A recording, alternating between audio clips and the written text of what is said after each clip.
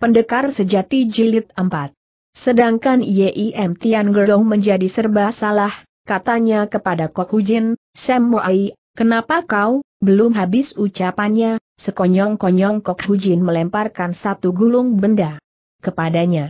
Sekali lihat saja Yim Tian Go lantas tahu bahwa gulungan itu pasti pusaka keluarganya, yaitu ketiga belas halaman Xiao Yang Sin Kang. Dengan bingung ia bertanya, Sam Moai, apa artinya ini? Mahar kawin pemberian ayah ini sekarang juga aku kembalikan padamu, kata Kok Hujin dengan ketus. Dan sekarang kau takkan khawatir lagi dan tak perlu lagi menanyai keponakanmu.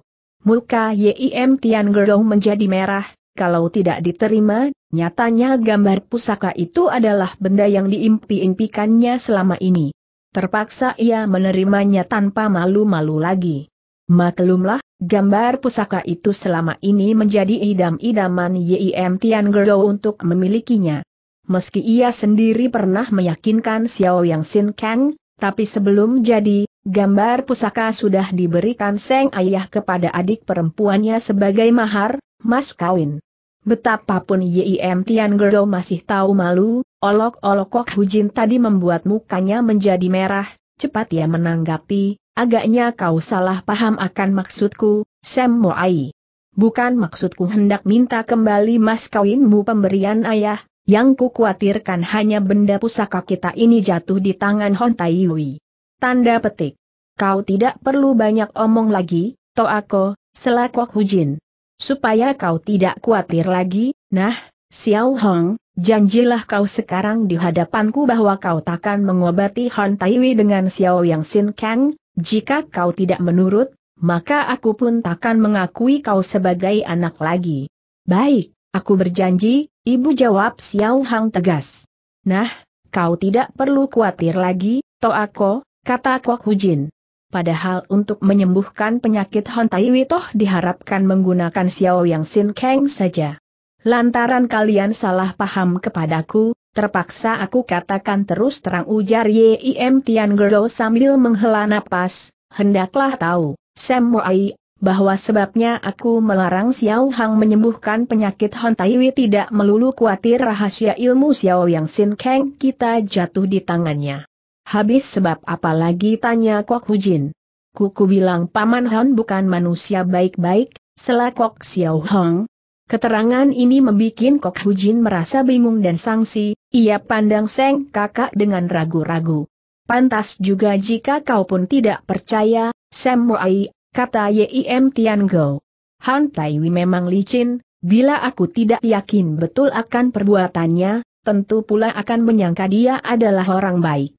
Apa yang kau ketahui tentang dia tanya Kok Hujin. Dia bersekongkol dengan pihak Mongol jawab Tian Go. Kok Hujin terkejut. Kau mempunyai bukti apa tanyanya? Siang Kuan Hok, kau tahu orang ini tidak kata Tian Go. Apakah Lo Chiam Pui yang sudah lama tiada kabar beritanya di dunia persilatan itu Kok Hujin menegas. Kuingat dahulu ayah pernah bercerita bahwa dia pernah menjalin cinta dengan Jing Leng Sutai, tapi gagal, kemudian dia menghilang entah ke mana. Untuk apa kau menyinggung dia? Siang Kuan Hok sekarang adalah pembantu utama Chun Sen Ho Atong, itu koksu kerajaan Mongol, ia pun sangat mendapat kepercayaan jengis kan, jawab Yim Tian Go. Lalu apa hubungannya pula dengan Hon Iwi? Sudah tentu ada hubungannya, bahkan erat hubungannya. Bukan cuma sekarang saja Han Taiwi mengadakan hubungan dengan Siang Kuan Hok. Di waktu hidupnya, ayah juga pernah berhubungan dengan Siang Kuan Hok, ujar Kok Hujin. Itu kan sebelum Siang Kuan Hok menjual diri kepada pihak Mongol. Sedangkan hubungan Hon Taiwi dengan dia terjadi sesudah dia bekerja sebagai pembantu koksu kerajaan Mongol. Dari mana kau mendapat tahu tanya Kok Hujin. Tahun itu aku datang ke Lok Yang, Han Taiwi tidak berani mengundang aku ke rumahnya. Tahukah kau apa sebabnya? Sebabnya di rumahnya pada waktu itu kebetulan ada seorang teman agung dari jauh. Kau maksudkan Siang Koan Hok? Jika bukan dia, buat apa aku katakan lagi padamu? Biarpun perbuatan Hon Taiwi itu sangat rahasia, tapi toh tak dapat mengelabui mata, telinga setiap orang, siapa yang memberitahukan rahasia ini padamu Lo Kun, Hiang Cu cabang Kepang di Lok Yang. Kok Hujin kenal sumber berita Kepang memang sangat tajam dan dapat dipercaya, jika betul demikian, mungkin apa yang dikatakan kakaknya ini memang ada dasarnya. Tiba-tiba Kok Xiao Hang ikut bertanya, kuku, hanya berita kosong saja tanpa bukti belum dapat dianggap. Justru aku melihatnya dengan mata kepala sendiri, kata Yim Tiango. Malam itu, setelah mendapat berita dari Lo Kun, segera kami mendatangi kediaman Hon Taiwi. Tapi belum tiba di sana, di ujung jalan yang menuju rumah Hon Taiwi itu kami sudah kepergok siang ke Anhok dan terjadi pertempuran, aku terkena satu kali pukulannya dan Lo Kun juga tidak mampu membekuknya. Walaupun pengkhianatan Hon Taiwi tidak tertangkap basah, untuk menjatuhkan dia juga belum dapat, mengingat kedudukannya yang kuat di dunia persilatan. Tapi kalian memaksa aku bercerita terus terang, sudah tentu hendaklah kalian menjaga rahasia ini dan jangan sampai bocor, sebab bukan mustahil akan menjadi korban kekejian Hon Taiwi jika dia mengetahui perbuatannya telah kau ketahui. Maka dari itulah aku mencegah agar kau membatalkan keberangkatanmu ke Lok Yang. Kok Xiao Hang menjadi bingung oleh cerita itu, dia tidak menjawab, melainkan memandang Seng Ibu. Maka Kok Hujin berkata, terima kasih atas perhatianmu, urusan ini akan kupikirkan dan akan kuputuskan sendiri bagi Xiao Hang. Sudah tentu, dia akan putramu, dengan sendirinya aku tidak dapat memaksa dia, cuma kau mesti paham, maksudku mencegah Xiao Hang jangan mengobati Han Taiwi bukanlah karena kepentingan pribadiku saja. Nah, boleh kau pikirkan, aku akan pergi sekarang. Sesudah Yim Tian Go pergi, Xiao Hang berkata kepada ibunya, apakah ibu anggap apa yang dikatakan kuku tadi dapat dipercaya? Kok Hujin sendiri ternyata merasa bingung, sampai lama sekali ia tidak menjawab, agaknya sedang merenungkannya secara mendalam. Karena terlalu banyak yang ingin diketahui, Xiao Hang lantas bertanya lagi, sebenarnya apa sebabnya ibu tidak cocok dengan kuku sejak dahulu? Kuku melarang aku menikah dengan ayahmu, jawab Kok Hujin. Lalu ia menyambung pula dengan tersenyum, kini tiada halangannya ku beritahu padamu, bahwa perkawinanku dengan ayahmu adalah dilakukan atas suka sama suka. Sebab itu pula aku tidak ingin memaksakan perkawinanmu agar kelak kau tidak membenci padaku seperti halnya aku benci kepada kukumu. Padahal aku merasa anak perempuan Hon Taiwi cukup baik. Dengan rasa girang Xiao Hang berkata, engkau benar-benar seorang ibu yang bijaksana.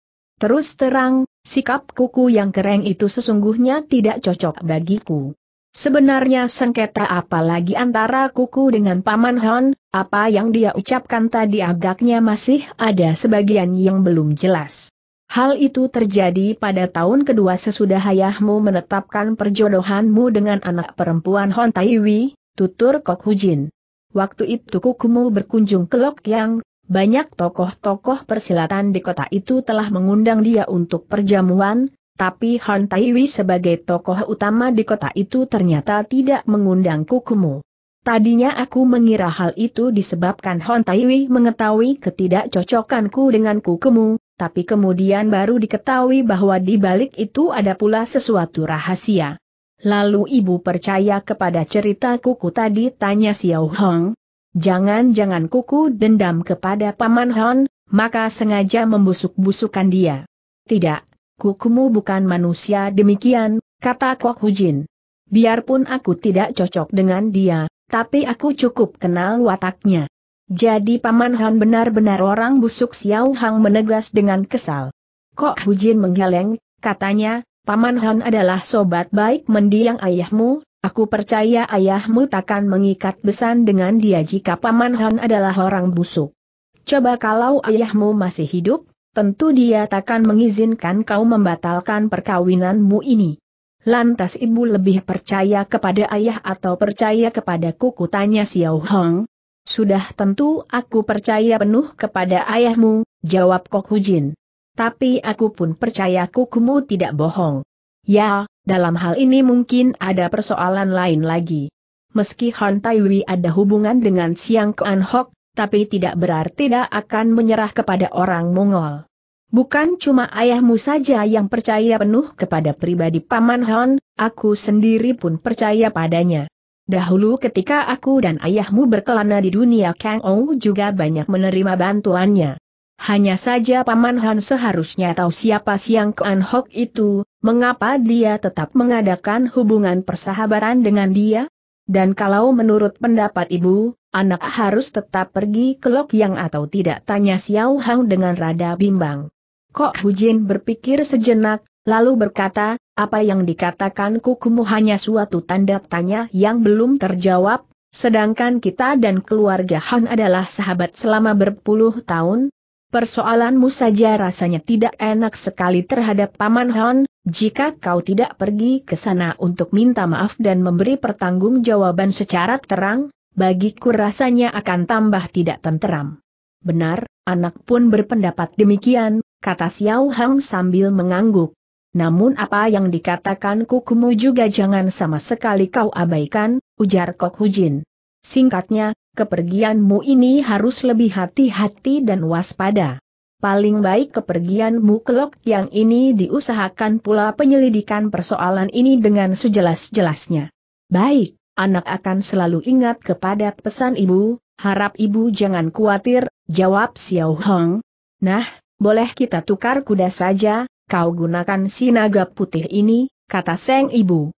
Sinaga putih yang dikatakan adalah seekor kuda putih mulus yang didapatkan ayah Xiao Hang di daerah Jinghei, umur kuda itu sudah belasan tahun, tapi larinya masih cepat, seribu li dalam sehari bukan soal bagi kuda bagus itu. Alangkah terharunya Xiao Hang atas kasih sayang ibunya, katanya dengan mengembang air mata. Anak telah banyak membuat susah kepada ibu, sungguh anak merasa malu. Yang kuharapkan adalah kau dapat hidup bahagia, kata Kok Hujin dengan tersenyum. Nona He itu memang cantik, pantaskah suka padanya? Ibu sudah bertemu dengan Giok Kun tanya Xiao Hang dengan tercengang. Apakah dia kenal engkau? Dia tidak kenal aku, jawab Kok Hujin. Ku khawatir dia malu, maka tidak mengajak bicara padanya. Dia dan kakaknya berada di suatu kereta, menurut keterangan yang kuperoleh, di atas kereta dimuat satu guci arak Pek Hoa Ciu. Baru sekarang Kok Xiao Hang paham duduknya perkara, katanya, pantas tadi ibu berani menjamin kepada kuku bahwa aku tidak perlu menyembuhkan Paman Han dengan Xiao Yang Sin Kang, kiranya ibu sudah mengetahui kepergian Giok Kun ke Lok Yang. Dengan kuda pemberianku itu tentu kau akan sampai di Lok yang dua hari lebih cepat, kata Kok Hujin. Dengan begitu kau dapat menemui Han Taiwi lebih dulu, jika kau menemuinya bersama Gyokun, betapapun Han Taiwi pasti tidak senang. Sebab itulah sedapat mungkin janganlah kau serombongan perjalanan dengan Gyokun dan kakaknya. Xiao Hang mengiyakan dengan wajah merah. Tiba-tiba ia ingat sesuatu, tanyanya, apakah ibu juga sudah bertemu Nona Hon itu? Sudah bertemu, dia sangat cantik, ilmu silatnya juga tidak rendah jawab Kok Hujin dengan tersenyum. Dari mana ibu mendapat tahu tanya Xiao Hang heran. Dia telah datang ke rumah kita, kata Kok Hujin. Lalu ia pun menceritakan kejadian pada malam itu. Diam-diam Xiao Hang membatin, Kedatangan Hon Pwe ke rumahnya itu tentunya ingin menyelidiki persoalan yang sesungguhnya, sesudah tahu jelas duduknya perkara, lalu Nona itu pergi dengan kesal, maka dapat dibayangkan betapa berdukanya hati Nona Hon kala itu. Mengapa tiba-tiba kau teringat padanya tanya Kok Hujin dengan tertawa. Dia telah datang ke Pek Hoa untuk menolong kami, betapapun kita harus berterima kasih padanya, jawab Xiao Hong, Tadinya aku mengira dia masih tinggal di Pekhoako, tapi ibu telah melihat Giokun dan kakaknya dalam perjalanan, maka dengan sendirinya Nona hantakan tinggal sendirian di Pekhoako. Hanya tidak jelas apakah dia terus pulang atau tidak. Sebab itulah anak bertanya pada ibu apakah juga melihat Nona Han. Ya, pantasnya Nona Han langsung pulang ke rumah pula, tapi aku tidak melihat dia dalam perjalanan, mungkin dia mengambil jalan lain. Bila kau bertemu dia, hendaklah kau bersikap baik-baik padanya, Jangan sekali-kali membikin kesal padanya. Nah, ibu akan pulang saja, hendaklah kau hati-hati dalam perjalanan, terutama menghadapi pasukan Mongol yang kabarnya sudah mendekati kota Lokyang. Sesudah memberi pesan, lalu ibu dan anak berpisah. Kok Xiao Hang mencemplak kuda putih pemberian ibunya itu dan melanjutkan perjalanan ke Lokyang. Sementara itu marilah kita ikuti pengalaman perjalanan Hon Pwe Eng. Dugaan Kok Hujin memang tidak salah, karena Nona itu ingin menghindari pertemuan dengan Kok Xiao Hang di tengah jalan, maka dia telah ambil jalanan lain, jalan kecil. Dia sudah menyamar sebagai lelaki, beberapa hari permulaan tidak terjadi apa-apa. Tapi sampai hari ketujuh, sesudah lewat kota Cilem di Provinsi Soateng, suatu kejadian aneh telah dialaminya. Malam itu dia menginap di suatu kota kecil, Ceho namanya, hotel yang dia pondoki ternyata menyambut kedatangannya serta memberi pelayanan istimewa tanpa diminta, bahkan daharan yang enak-enak juga lantas disediakan baginya. Keruan PWE terheran-heran, ia tidak mengerti apa sebabnya pengurus hotel itu melayaninya seakan-akan tamu agung saja. Malahan ada lagi yang lebih mengherankan, ketika esok paginya dia mau membereskan rekening hotel, ternyata pengurus hotel telah menolaknya. Waktu PWE tanya alasannya, di situlah PWE baru mengetahui bahwa sebelumnya sudah ada orang membayar segala keperluannya itu. Padahal dia merasa tidak punya kenalan di kota kecil itu, juga selamanya tak diketahui kalau ayahnya mempunyai sahabat yang tinggal di Ceho ini. Waktu PWE tanya lebih jelas siapa yang membayar keningnya itu, pengurus hotel memberitahu bahwa orangnya berumur empat puluhan, biasa saja tanpa sesuatu tanda pengenal yang istimewa, hanya dandanannya kelihatan sangat perlente. Kemarin siang orang itu sudah pesan kamar lebih dulu bagi PWN disertai keterangan tentang dirinya dan memberi pesan pula agar diberi pelayanan sebaik-baiknya. Habis membayar, lalu orang itu pergi lagi tanpa meninggalkan nama dan alamat. PWN tidak bertanya lebih jauh, ia tidak tahu orang yang dimaksudkan itu sebenarnya kawan atau lawan, yang pasti jejaknya telah diikuti orang, maka ia melanjutkan perjalanannya dengan lebih waspada. Malam berikutnya ia menginap di suatu kota kecil di tepi selatan Sungai Kuning. Di kota kecil ini hanya terdapat sebuah hotel. Di sini ia disambut juga oleh pengurus hotel seperti apa yang terjadi di kota Cehu. Kembali ada orang memesan kamar baginya dan membayar segala keperluannya. Hanya saja sekali ini orang yang membayar itu adalah seorang laki-laki botak, jadi tidak sama dengan orang pertama. Dengan perasaan tidak tenteram PWE melewatkan malam itu dan ternyata tidak terjadi apa-apa.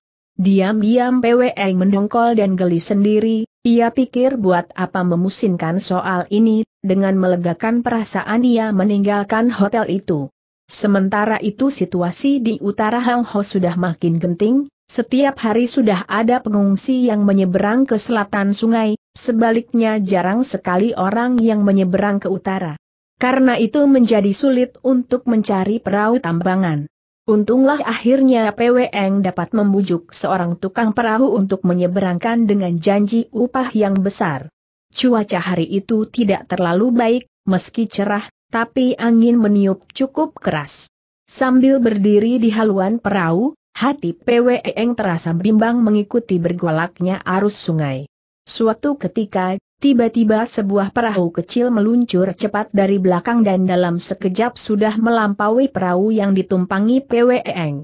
Tertampak jelas tukang perahunya adalah seorang pemuda berusia 18 atau 19 tahun, wajahnya tampan, pakaiannya juga rajin dan bersih, tidak mirip seperti tukang perahu umumnya.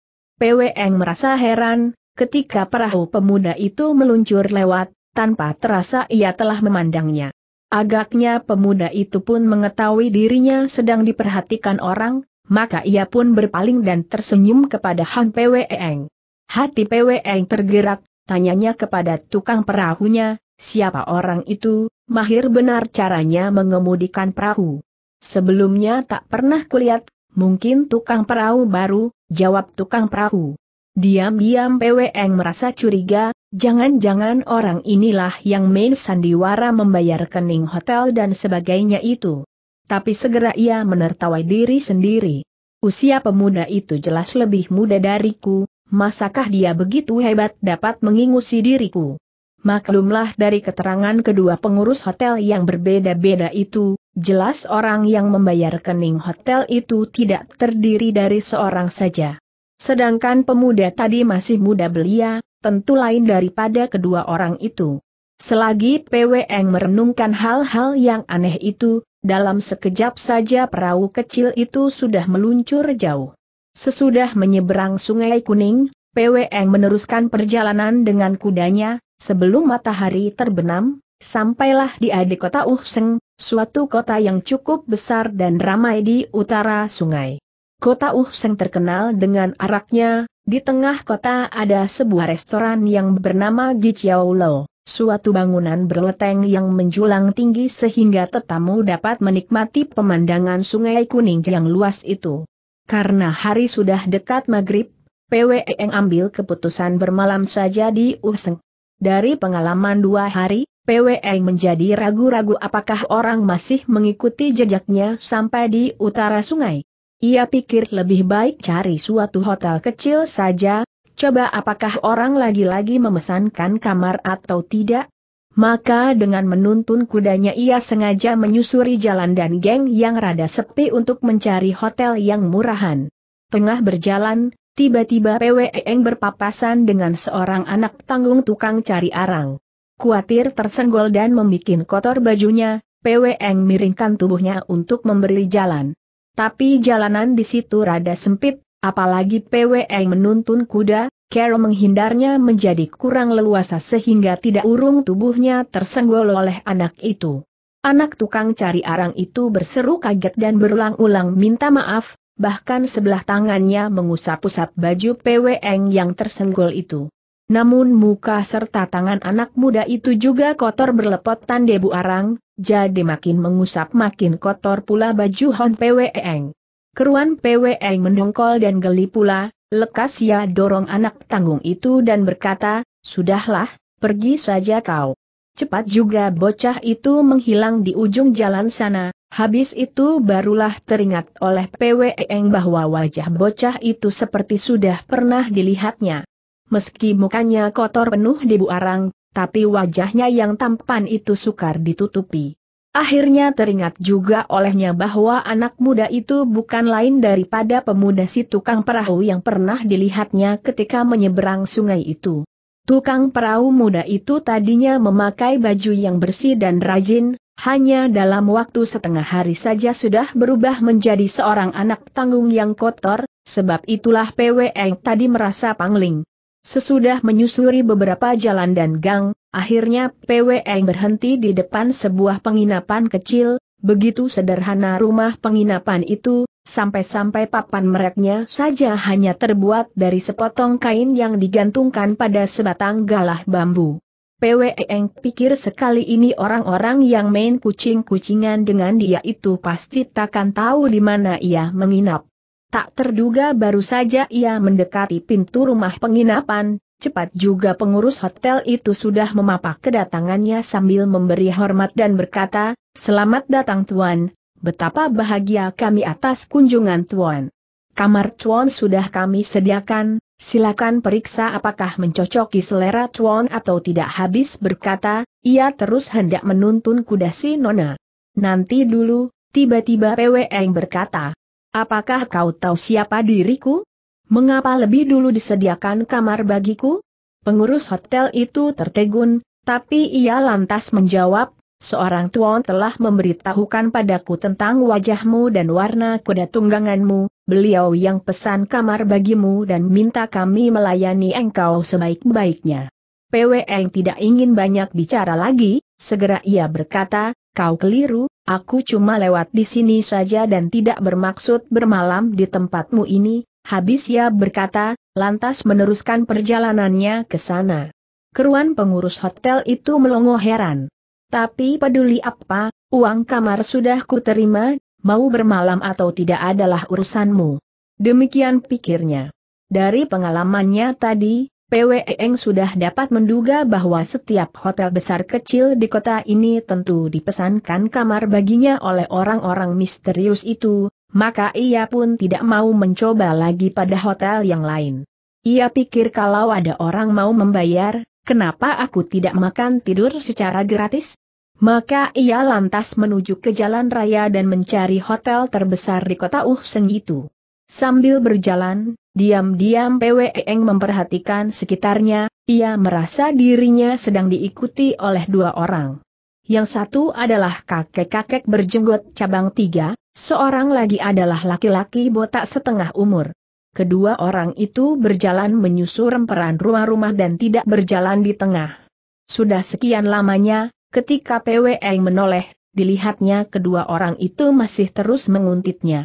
Agaknya kedua orang itu pun mengetahui PWN sedang memperhatikan mereka, kebetulan saat itu mereka berada di depan restoran Go Chiao Lo yang paling terkenal di Uhseng, terdengar si kakek sedang berkata, kabarnya arak harum di sini jauh lebih enak daripada arak buatan tempat lain, marilah kita berdua coba minum barang satu dua cawan.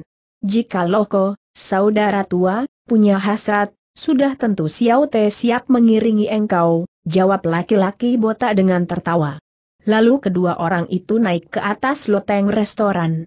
Pwe Eng jadi teringat kepada keterangan pengurus hotel kemarin malam yang mengatakan bahwa orang yang memesan kamar baginya itu adalah seorang laki-laki botak, ia menjadi sanksi apakah barangkali inilah orangnya. Ia pikir sebentar aku pun menyusul ke restoran itu, Coba apa yang akan mereka lakukan terhadap diriku? Akhirnya PWE mendapatkan sebuah hotel yang mentereng, ternyata pengurus hotel kembali menyambut kedatangannya dengan hormat. Nyata orang memang sudah memesan kamar baginya. Hanya saja sekali ini orang yang pesan kamar adalah seorang berdandan sebagai suseng, kaum, sekolahan, pelajar. Diam-diam PWE tambah curiga, tampaknya dirinya sedang dikuntit oleh suatu komplotan orang tertentu. Selesai menaruh barang-barangnya, segera PWN keluar dari hotel itu dan menuju ke Gichiao Lao. Sampai di atas loteng restoran itu, dilihatnya tetamu memenuhi belasan buah meja, kedua orang yang dicurigainya tadi juga masih berada di situ. Diam-diam PWN mengawasi gerak-gerik kedua orang itu, pandangan mereka seperti sedang menuju ke sini, tapi segera beralih pula ke arah lain sambil pura-pura minum araknya. Dengan rasa sangsi PWE yang memilih sebuah meja yang berdekatan dengan jendela, lalu memanggil pelayan. Kebetulan saat itu si kakek berjenggot juga sedang memanggil seorang pelayan lain serta memberi pesan apa-apa dengan suara perlahan, lantaran suasana berisik dan tetamu amat banyak, maka PWE yang tidak jelas apa yang dikatakan si kakek. Segera PWE Eng pesan daharan sendiri kepada pelayan, bawakan satu poci arak, satu ekor ayam panggang dan satu porsi daging rebus. Si pelayan mengiyakan, lalu pergi. PWE Eng coba mengawasi tetamu restoran itu, kecuali kedua laki-laki tadi, ia merasa tiada orang lain lagi yang pantas dicurigai. Sambil menunggu datangnya daharan, Secara iseng PWE Eng membaca beberapa figura yang penuh tulisan pujaan terhadap Tai U, itu pahlawan pembendung bahaya banjir sungai kuning di zaman purbakala. Kiranya Useng atau kota U inilah tempat yang tertimpa bahaya banjir dan dapat diselamatkan oleh Tai U, untuk memperingati jasa Tai U, penyair-penyair dari zaman ke zaman berlomba menuliskan sajak dan pujaan kepada penyelamat rakyat jelata itu. Selagi PWN asyik memikirkan betapa luhur budi pahlawan purba penyelamat rakyat itu, sementara daharan yang dia pesan sudah datang dibawakan oleh pelayan tadi. Bahkan seorang pelayan lain ikut datang dengan membawa sebuah nampan yang berisi lima macam masakan lagi. Rumah PWN paling mengutamakan daharan, maka sekali pandang saja ia lantas tahu kelima macam masakan itu bukan sembarang masakan, tapi masakan yang khusus dipesan dan dibuatkan secara istimewa pula. Sudah tentu PWN merasa heran karena kelima macam masakan itu bukan pesanannya, tapi pelayan itu justru membawa ke mejanya. Maka dengan tegas ia menolak masakan itu. Rupanya pelayan itu menjadi tercengang dan memandang ke arah si kakek berjenggot tadi. Tertampak si kakek manggut-manggut sebagai tanda agar si pelayan boleh bicara terus terang.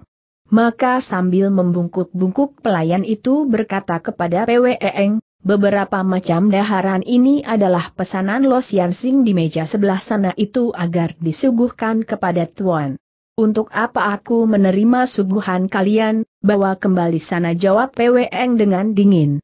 Keruan si pelayan terkejut, cepat ia menambahkan, tapi-tapi masakan ini sudah dibayar, mana boleh kami membawa kembali lagi tampaknya ia merasa khawatir akan diomeli oleh si kakek bila mana daharan itu ditolak oleh Hon PWN. Maka si kakek berjenggot lantas berbangkit dan berkata kepada PWN, agaknya Heng Tai, Saudara, baru pertama kali berkunjung ke sini sehingga belum kenal masakan terkenal di restoran ini, sebab itulah secara sembrono aku telah mewakilkan Heng Tai memilih beberapa macam daharan. Sedikit makanan yang tiada artinya ini sedila kiranya Heng Tai suka menerimanya. Selamanya kita tidak kenal, mengapa Lo Sian menjamu diriku tanya Pwe Eng. Ah, di mana pun kita bertemu, tentu pula menjadi tamu setempat, Syukur hari ini dapat berjumpa dengan Heng Tai, apa artinya kenal atau tidak sebelumnya? Hi, hi, sebagai tanda hormatku, sudilah kiranya Heng Tai minum secawan, habis berkata, segera kakek itu angkat cawan araknya. Usia kakek itu sudah lanjut, tapi berulang-ulang ia menyebut Heng Tai kepada Han Pwe Eng sehingga rada lucu kedengarannya, tapi juga menandakan rasa hormatnya kepada Pwe Eng. Melihat sikap si kakek, PWN merasa orang tidak bermaksud jahat padanya, malahan orang pun belum tahu dia adalah wanita yang menyamar. Ketika kakek itu mengangkat cawan araknya, PWN mengira orang mengajak minum padanya. Tak terduga mendadak cawan si kakek yang penuh berisi arak itu terus melayang ke arah PWN. Baru sekarang ia tahu orang hendak pamer kepandaian dengan alasan ingin menyuguh arak padanya. Dengan tenang PWN ingin tahu sampai di mana kemahiran si kakek. Tertampak cawan arak itu melayang ke arahnya dan tepat jatuh di depannya, sama halnya si pelayan memasang cawan arak baginya, arak yang memenuhi cawan itu satu tetes pun tidak tercecer. Diam-diam PWN terkejut dan mengakui kepandaian orang yang cukup hebat. Segera ia pun angkat cawan arak itu dan menjawab, terima kasih. Orang tua harus dihormati, Sepantasnya aku yang harus menyuguh arak kepada Lo Sian Sing, habis berkata, dengan jari tangan kiri ia menyelentik, kontan cawan arak itu melayang kembali ke arah si kakek. PWN telah menggunakan tenaga jari sakti ajaran Seng Ayah, meluncurnya cawan arak itu bagai anak panah terlepas dari busurnya, cepat dan keras. Melihat itu, Si kakek tahu cawan arak itu pasti mengarah ke mukanya dan takkan jatuh di atas meja. Padahal cawan arak itu berisi penuh, untuk menangkap cawan itu tidaklah sulit bagi si kakek, yang susah adalah isi cawan juga harus tetap penuh tanpa tercecer, kalau tidak, akan berarti kekalahan baginya. Namun di dalam hati si kakek diam-diam juga bergirang di samping terkejut, ia tambah yakin anak darah ini pasti orang yang hendak diajak bersahabat oleh Pangcu, pemimpin sesuatu organisasi atau sindikat. Ia bergirang karena orang yang dia kunti ternyata tidak keliru, tapi juga rada khawatir kalau kehilangan muka lantaran tidak mampu menangkap cawan arak itu tanpa tercecer isinya. Selagi si kakek memusatkan tenaga dan pikiran dan siap untuk menangkap cawan arak itu, Tiba-tiba ada seorang pada saat yang sama kebetulan muncul di atas loteng restoran, tanpa permisi orang itu terus menyambar cawan arak itu dan berkata, kalian suka sungkan-sungkan dan tidak mau minum, biarlah aku saja yang minum arak ini habis itu, sekali tenggak ia habiskan isi cawan itu. Kejadian tak terduga ini membuat orang-orang kedua pihak sama-sama terkejut. Lebih-lebih Hon Pwe Eng, sebab segera dikenalinya orang yang menyerobot cawan arak itu tak lain tak bukan daripada anak tanggung pencari arang yang telah menyenggolnya di jalan sempit tadi alias si tukang perahu muda yang dilihatnya ketika menyeberang sungai. Bocah itu tetap memakai baju yang kotor, mukanya juga masih berlepotan hangus sarang. Laki-laki botak yang bersatu meja dengan si kakek berjenggot tadi menjadi gusar, segera ia berbangkit dan membentak, siapa kau, mau apa kau datang ke sini? Lekas pergi, pergi berbareng itu ia terus mendorong anak muda itu. Tapi dengan gerakan Oh Hui Shokeng, kura-kura mengkerat leher, anak muda itu sempat menghindari dorongan orang terus bersembunyi di samping Hon Pwe Eng, katanya, aneh bin heran, ini kan restoran, siapa pun boleh makan minum di sini, untuk apa kau pedulikan siapa diriku? Dasar kau merendahan, melihat pakaian anak muda yang kotor itu, si pelayan restoran juga merasa jijik padanya, segera ia mengejek, bicara si gampang, tapi untuk makan minum kan juga diperlukan uang. Hah, rupanya kau menghina diriku ya. Memangnya kau kira aku tidak punya uang buat membayar jawab anak muda itu dengan marah-marah.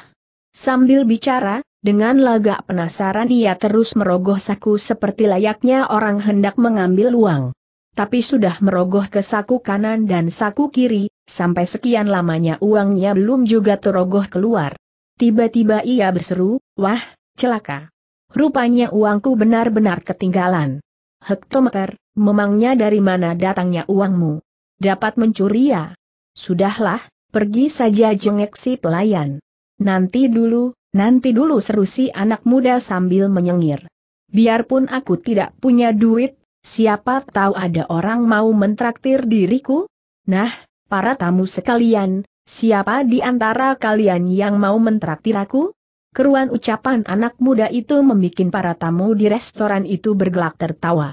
Tiba-tiba Hon Pwe Eng membuka suara, pelayan, engkau cilik ini adalah tamuku, aku yang menjamu dia, boleh kau sediakan tempat baginya. Si pelayan melongot, tapi cepat juga ia mengiyakan dan membawakan sumpit, mangkuk, cawan dan sebagainya serta ditata rajin di depan tempat duduk anak muda tadi. Gara-gara perbuatan anak muda itu, si kakek dan lelaki botak yang mestinya hendak bicara dengan Hon Pwe Eng menjadi terganggu. Dengan gusar si lelaki botak mestinya hendak melabrak si anak muda dekil itu, namun keburu ditahan oleh si kakek. Sesudah anak muda itu berduduk di tempatnya, kemudian si kakek mendekati Pwe Eng dan memberi hormat. Terimalah hormatku yang tua ini. Pwe Eng membalas hormat dan menjawab, Ah, mana aku berani menerima penghormatan Lo Sian Sing. Numpang tanya, siapa nama Lo Sian Sing yang mulia, mengapa menyediakan daharan enak bagiku? Aha, kiranya engkau sendiri juga ditraktir orang tiba-tiba si anak muda menimbrung dengan tertawa. Wah, kalau begitu engkau juga tidak perlu uang untuk membayar makananku. Ha, ha, bagus sekali, aku tidak perlu sungkan-sungkan lagi. Maka terdengarlah si kakek berkata, ah, sedikit tanda hormatku ini tiada harganya untuk disebut. Cai Hicoh Tai Peng sudah lama menaruh hormat dan kagum terhadap ayahmu, walaupun Cai Hi tidak berani tonjolkan diri, tapi bila menyebut namaku, mungkin ayahmu juga tahu.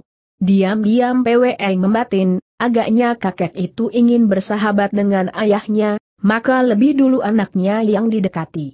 Ia lantas menjawab, dalam perjalananku selama beberapa hari ini, sepanjang jalan selalu ada orang melayani diriku, entah semua itu apakah juga pemberian Lo Sian Sing?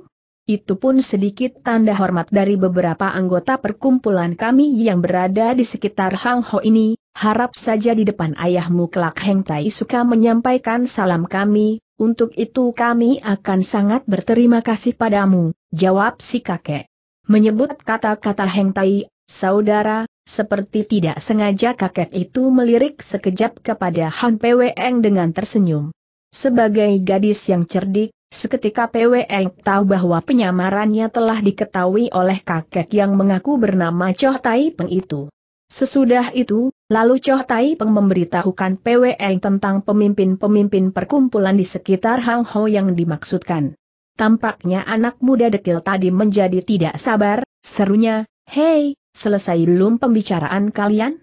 Perutku sudah lapar, aku tidak mau menunggu lagi, Ang Hai itu harus dimakan selagi hangat.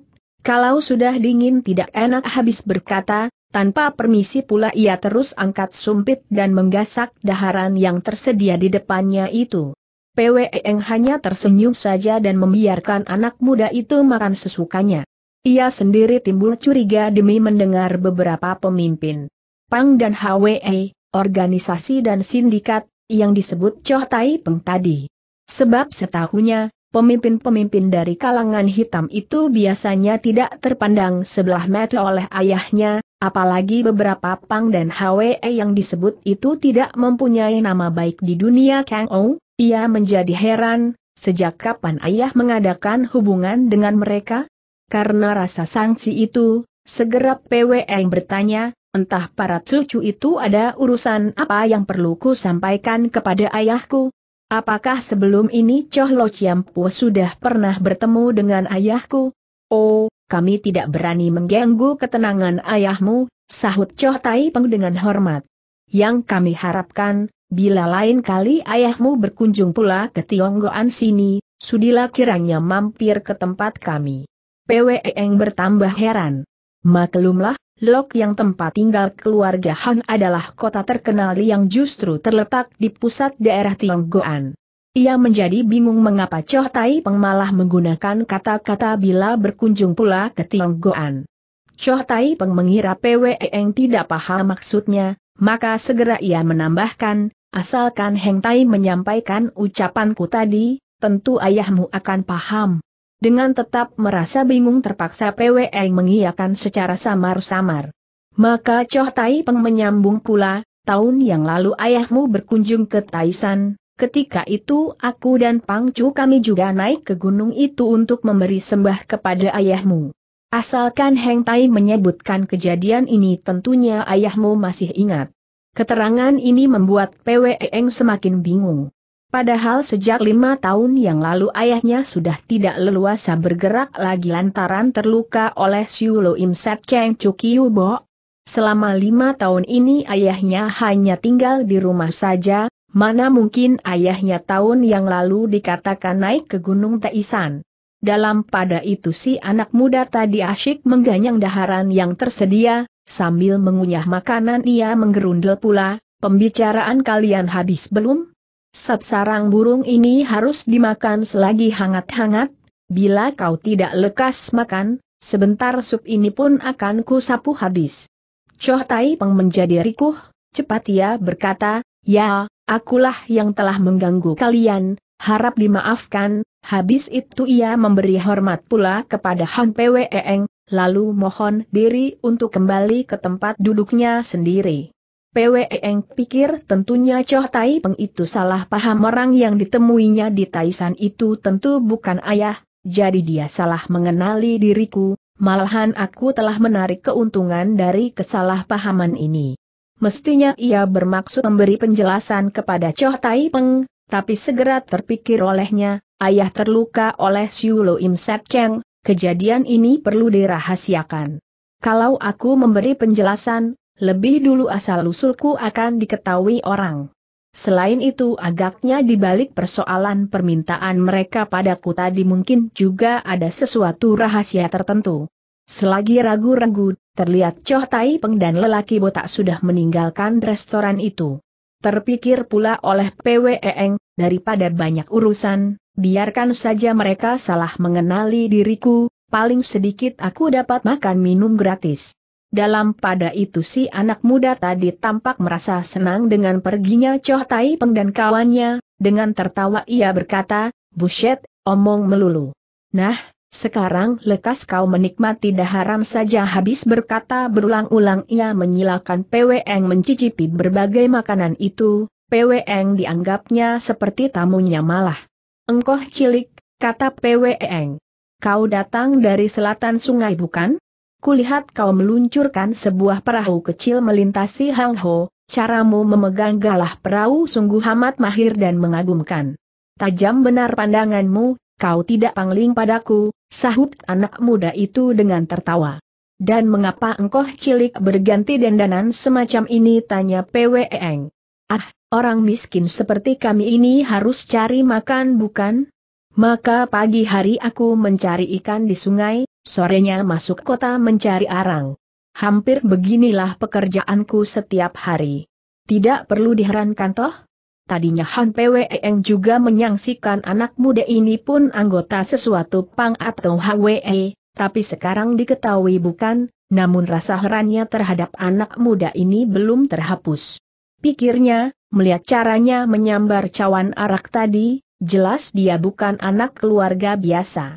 Tampaknya dia juga sengaja menguntit jejakku, entah bagaimana pula asal-usulnya. Anak muda itu minum seteguk araknya, lalu angkat sumpit dan berkata, ini, coba cicipi masakan ikan lehe ini, Carol membuatnya lain daripada yang lain, dapatkah kau merasakannya? Rasanya memang istimewa segar, tampaknya sama dengan Carol memasak kuah ikan biasa, mana ada bedanya, ujar Pwe Eng. Agaknya kau bukan ahli makan, kata si anak muda dengan tertawa. Tampaknya ikan ini dimasak kuah bening, tapi sebenarnya bukan kuah bening. Oh, Carol bagaimana pula membuatnya? Coba aku ingin belajar begini, lebih dulu tuang satu kuali air jernih, harus air sumur, tidak. Boleh air sembarangan. Kalau air sudah mendidih, padamkan api anglo, lalu ikan segar dimasukkan ke dalam air mendidih dan ditutup rapat. Selang sebentar, dalam keadaan ikan itu masih setengah masak, lalu diangkat serta diberi bumbu, dengan demikian daging ikan akan tetap punya rasa asli dan lezat sekali. Rupanya kau ini ahli benar, ujar Pweng dengan tertawa. Aku sudah biasa menangkap ikan di Hang Ho, keluarga miskin tidak punya koki, dengan sendirinya harus masak sendiri, karena itu bukan ahli akhirnya menjadi ahli juga, demikian anak muda itu memberi kuliah. Lalu ia menyambung pula dengan menunjuk masakan lain, dan masakan Hui Cui Peng ini jangan kau anggap sepele, walaupun bahannya cuma terdiri dari tahu dan tahu oge, tapi untuk membuatnya hingga selezat ini bukanlah pekerjaan yang gampang. Tahu harus pilihan, taoge juga mesti pilih bagian pupus yang paling halus. Selain itu kaldu untuk memasak tahu harus kaldu murni dari tiga ekor ayam. Wah, hanya semangkuk tahu teng, kuah tahu, saja juga begini sukar membuatnya. Apakah kau juga sering memasaknya di rumah tanya Pwe Eng? Diam-diam ia membatin, rahasia anak muda itu akhirnya ketahuan juga, mana mungkin anak keluarga miskin menyembelih tiga ekor ayam untuk mengambil kaldunya?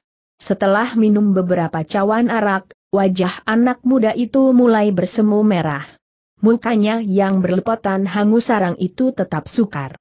Menutupi kemolekan aslinya, lebih-lebih sesudah minum arak, dua dekik di pipi semakin manis tampaknya. Pwe Eng pikir anak muda ini sehari-harinya tentu adalah pemuda tampan yang sudah biasa hidup mewah dan terhormat. Entah mengapa sengaja menyamar sebagai bujang rudin dan kotor begini. Karena mereka duduk berhadapan, Lapat-lapat Eng merasa anak muda ini rada-rada aneh tampangnya. Kok Xiao Hang dan Hai Giok Hoan juga sangat tampan, boleh dikata lelaki cantik.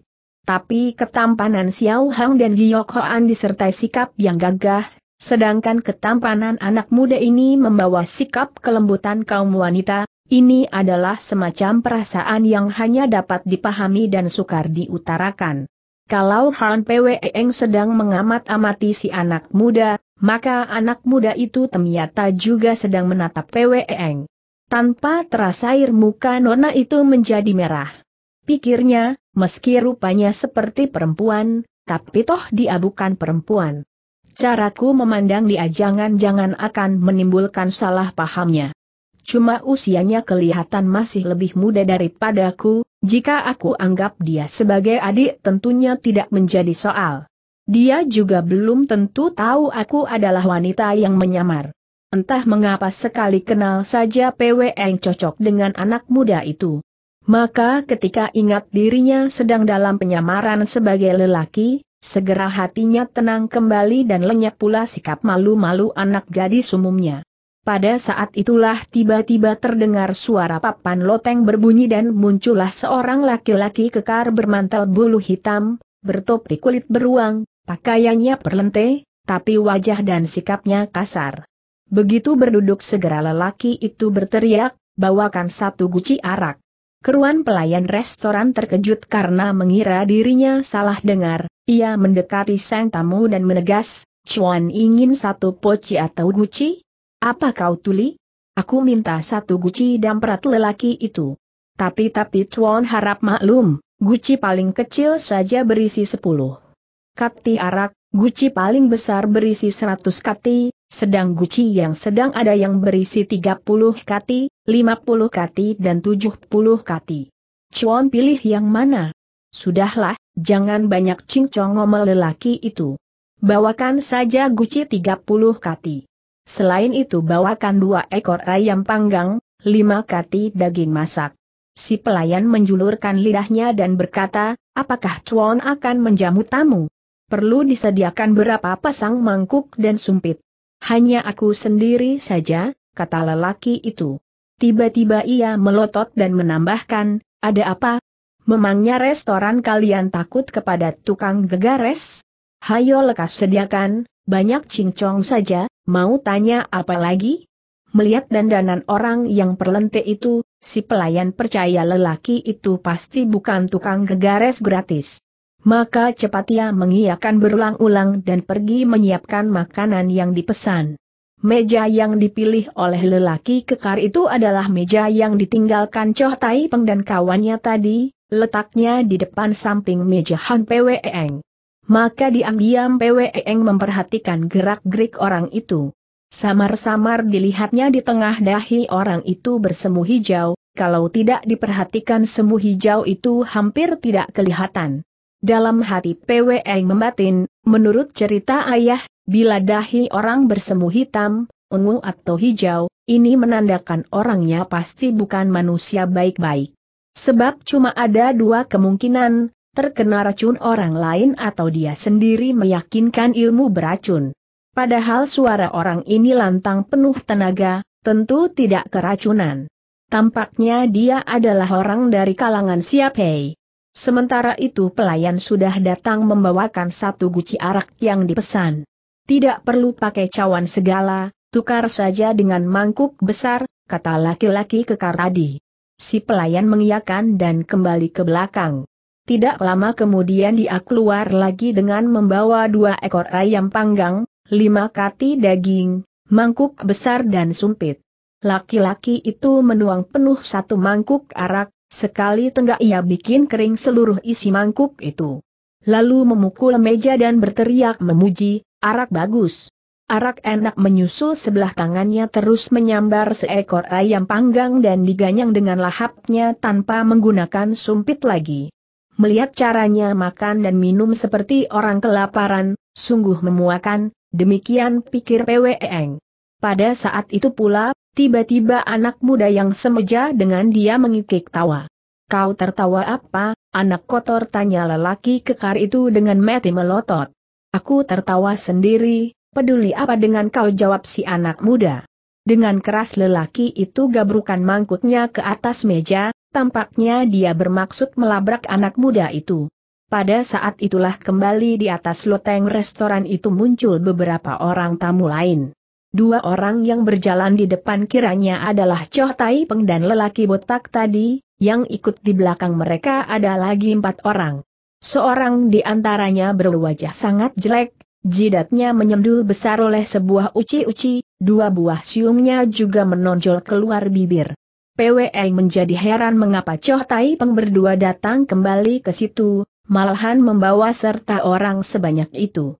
Ketika Choh Tai Peng lewat di meja tempat duduknya tadi, ia pun memandang sekejap kepada lelaki kekar itu dengan rada heran pula, tapi ia tidak bersuara apa-apa, hanya dalam hati ia berpikir, orang ini entah sahabat dari kalangan mana kiranya dia dapat melihat lelaki kekar itu memiliki ilmu silat tinggi, cuma belum diketahui bahwa yang diyakinkan orang itu adalah ilmu berbisa dari siapei, golongan jahat. Datangnya tetamu itu membuat sibuk pula kepada pelayan. Segera pelayan tadi mendekati mereka dan menyapa, kiranya Choh Toaya dan Le Toaya kembali lagi. Silakan duduk, silakan menyusul khususnya memberi hormat kepada lelaki berjidat jendul itu dan berkata, Ang Loyacu, angin apakah yang membawa engkau ke sini? Silakan duduk, daharan apa yang akan kalian pesan, silakan pilih dan pasti akan kami sediakan. Nanti dulu, kata Choh Tai Peng sambil goyang tangan. Tujuan kami bukan mau makan, boleh kau bikin dua poci teh enak saja dan jangan mengganggu urusan kami.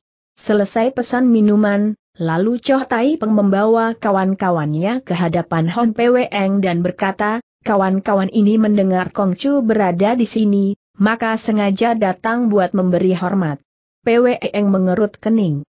Mana aku berani katanya.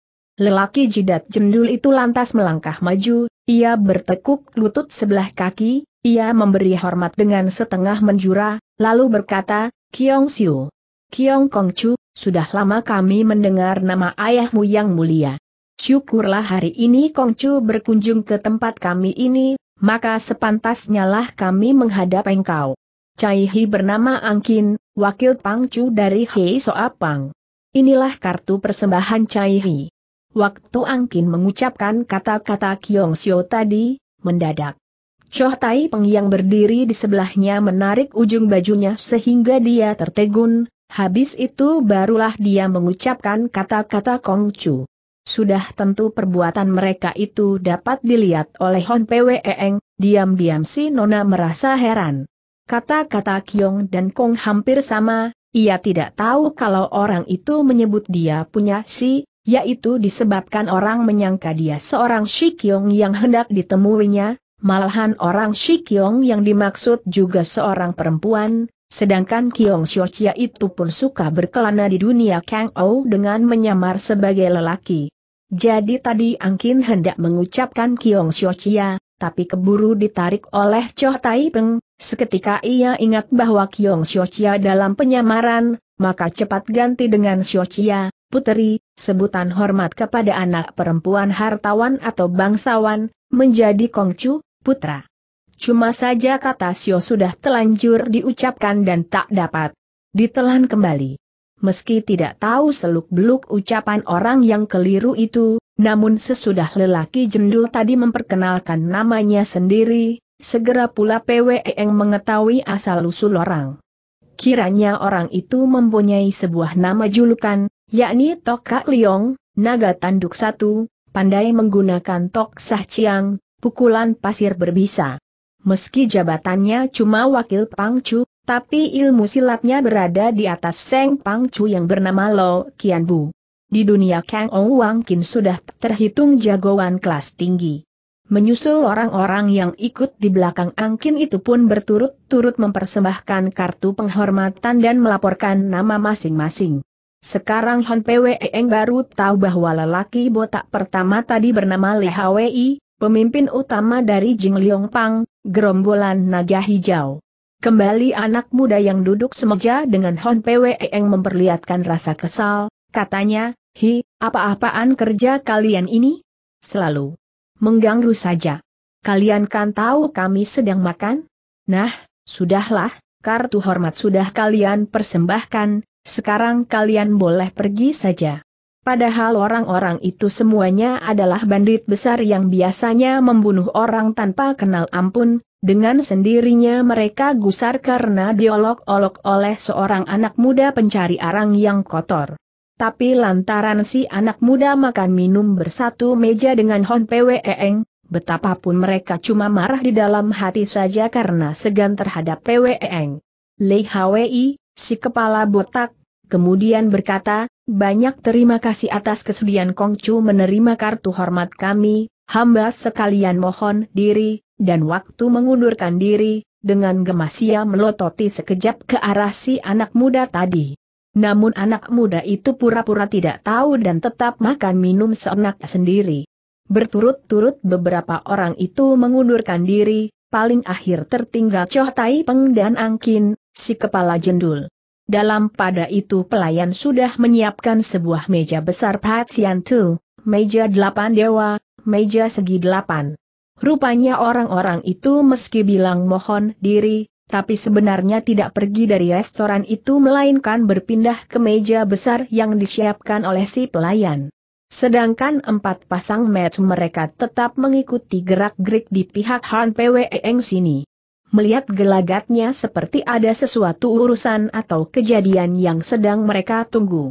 Di tengah suasana yang aneh luar biasa itu, kembali terdengar suara orang naik loteng, kelihatan muncul seorang pemuda berbaju biru, pada punggungnya menggendong sebuah buntalan, rangsel. Melihat tindak tanduknya yang polos dan lugu itu, besar kemungkinan adalah anak desa atau anak petani. Begitu muncul, Segera si pelayan memapaknya dengan mulut mendesis dan jari di depan mulut, maksudnya jangan bersuara agar tidak menimbulkan amarah tamu-tamu yang lain. Lalu pemuda desa itu dibawanya ke suatu meja di pojok serta dibawakan satu poci teh, habis itu tidak dilayaninya lebih lanjut. Dalam anggapan si pelayan, orang desa saja paling-paling minum teh dan jajan sekadarnya, buat apa dilayani, apalagi saat itu dia memang sedang sibuk. Melayani tamu-tamu yang ada urusan sehingga tidak sempat melayani tamu baru yang ke kampung-kampungan ini. Pemuda sederhana itu rada bingung juga, segera ia berseru, Hi, pelayan, apa-apaan ini? Memangnya kalian tidak menjual arak lagi? Aku kan datang buat minum arak. Lei Hwi, si kepala botak menjadi gusar, bentaknya, Hi, kau gembar-gembor apa? Lekas enyah dari sini, jangan mengacaukan urusan kami. Mendadak si anak muda kotor tadi menimbrung, mengapa kau menghina orang? Aku yang menjamu toako ini. Nah, pelayan, bawakan dia satu poci arak enak ditambah satu ekor ayam panggang. Si pelayan menjadi bingung dan serba salah, pandang Lei Hwi dan pandang pula si anak muda kotor. Apa yang kau tunggu kata si anak muda kepada pelayan yang bingung itu. Apa kau khawatir aku tidak punya uang buat mentraktir tamu? Ini, simpan dulu uang perak ini, tentunya cukup untuk membayar keningnya nanti. Sisanya ambil saja sebagai persen berbareng itu terdengar suara tring yang nyaring, sepotong perak telah dilemparkan dan tepat jatuh di atas meja kasir. Dikatakan jatuh, tapi sebenarnya ambles terjepit di atas meja sehingga si kasir tidak sanggup mengeluarkannya. Melihat itu, Lei Hwi mendengus, ia mendekati meja kasir, sekali tangannya menggebrak, kontan potongan perak itu mencelat keluar, papan meja pun retak. Huh, hanya sedikit kemampuan begitu saja berani pamer EJ si anak muda. Hendaklah diketahui, bila mana tenaga dalam sudah sempurna, maka sekali gebrak meja tadi hanya akan membuat uang perak itu mencelat keluar dan takkan membuat pecah mejanya. Sebab itulah meski Li Hwi berhasil membuat uang perak tergetar keluar dari jepitan meja, tapi papan meja juga pecah dan sampai di mana kepandaian Li Hwi juga kelihatan. Choh Tai Peng mengerut kening dan lekas berkata, teman Kiong Kong Chu yang traktir tamunya, maka Lei Jite hendaklah jangan cari perkara. Dengan penasaran Lei Hwi lantas kembali ke tempat duduknya sendiri. Sedangkan si pemuda desa lantas berbangkit sambil angkat cawan arak yang telah disediakan, ia tersenyum kepada si anak muda kotor dan berkata, terima kasih.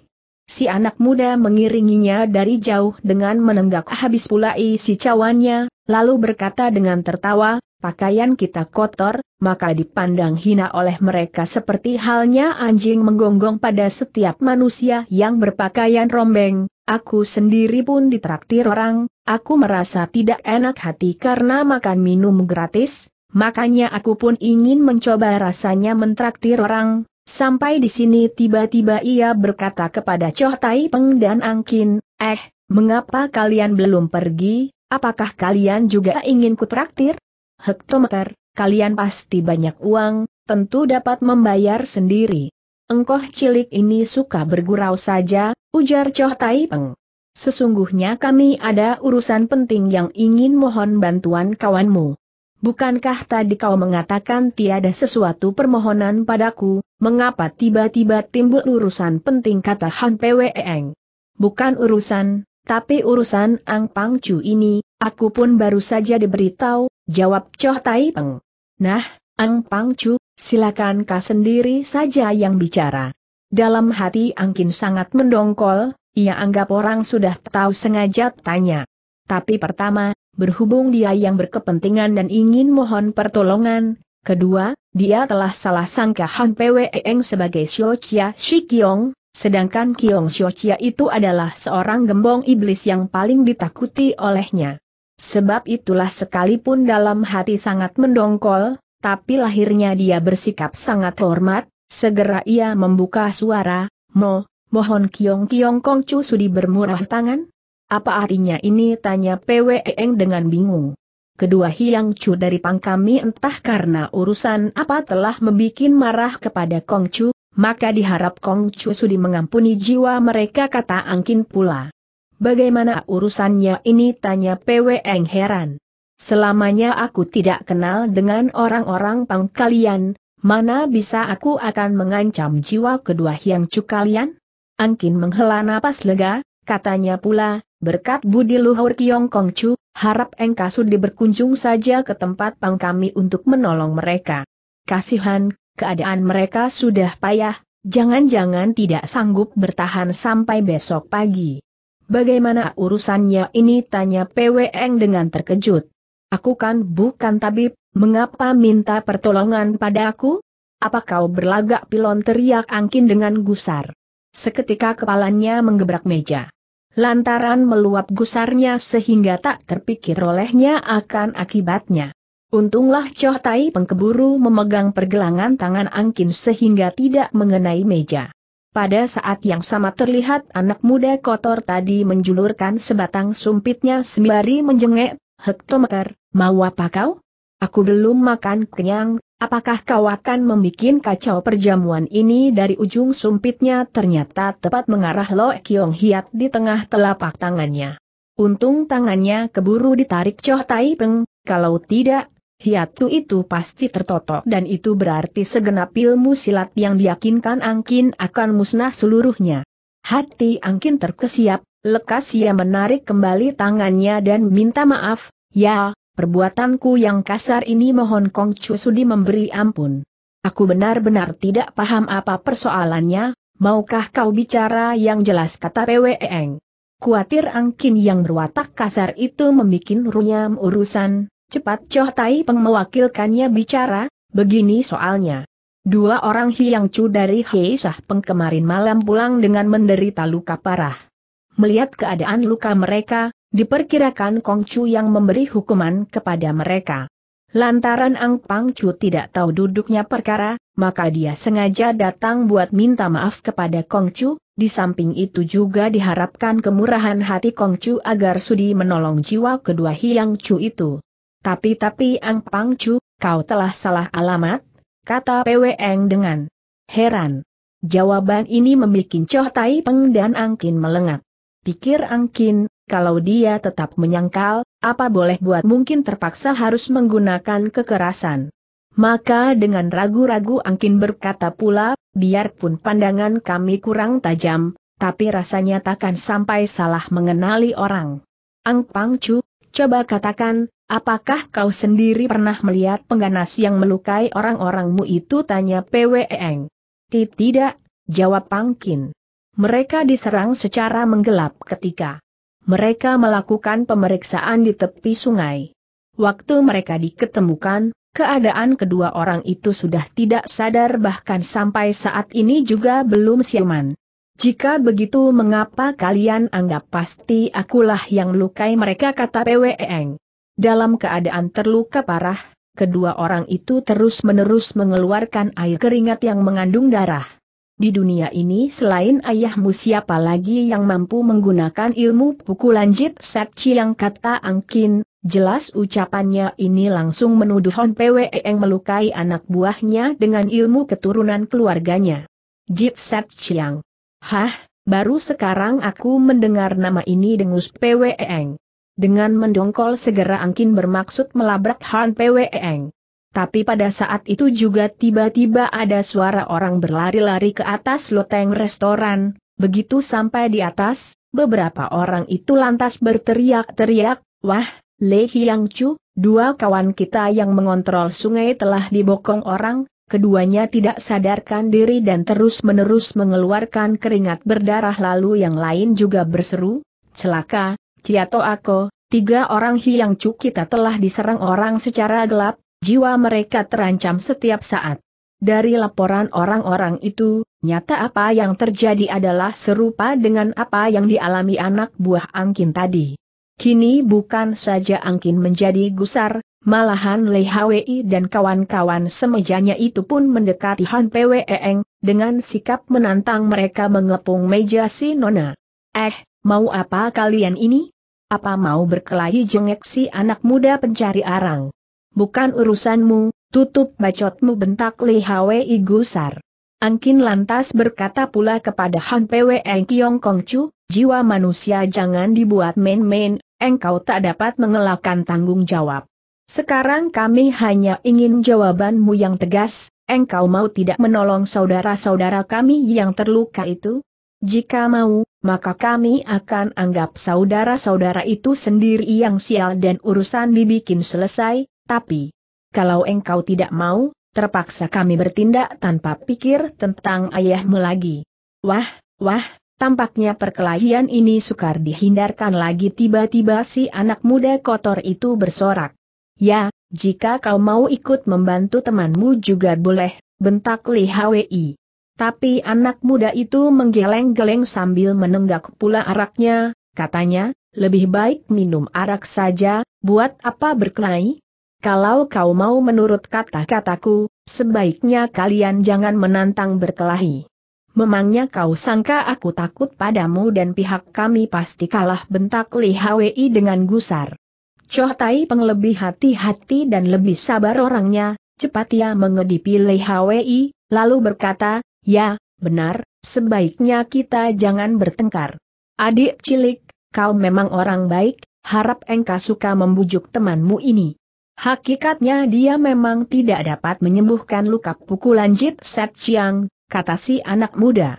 Pula kalian juga mengacau secara ngawur saja, sebab kawan-kawan kalian ini sesungguhnya bukan terluka oleh pukulan Jit Set Chiang. Ucapan ini membuat Choh Tai Peng dan rombongannya terkejut. Segera Angkin membentak, dari mana kau mendapat tahu sejelas itu? Siapa kau? Aku cuma seorang kacung pencari arang di kota ini, ada apa sih jawab si anak muda dengan acuh tak acuh. Hektometer, kalau cuma kacung pencari arang saja, dari mana kau mengetahui tentang luka kawan-kawan kami itu bukan akibat pukulan jit set yang jengek Choh Tai Peng. Diam-diam Choh Tai Peng terperanjat, dalam hati ia membatin, jangan-jangan kami telah salah alamat, yang benar anak muda inilah anak perempuan Kiong Tuju yang kami cari? Waktu ia mengamat-amati lebih teliti, lapat-lapat ia merasa bentuk tubuh kacung pencari arang itu memang rada-rada mirip anak perempuan. Dasar watak angkin memang berangasan, segera ia membentak pula, besar amat omongmu tadi, jika begitu tentunya kau sendiri mahir jit set aku menjadi ingin coba-coba belajar kenal padamu. Aku mahir apa? Kalau makan gratis aku memang amat mahir jawab anak muda itu. Tapi jika kau mau mengajak berkelahi, ya, apa boleh buat, akan kulayani kau. Padahal, huh, orang dogol macam kau ini masakah perlu digunakan jit set yang segala? Angkin menjadi gusar dan segera hendak menandangi tantangan si anak muda. Tapi Choh Tai pengkeburu menariknya ke samping, katanya, engkoh cilik, Apakah engkau dari Ohang Tu, Pulau Angin Hitam? Bukankah sudah kukatakan tadi, aku adalah kacung pencari arang, aku tidak tahu apa itu Pulau Angin Hitam atau Pulau Angin Puyuh segala?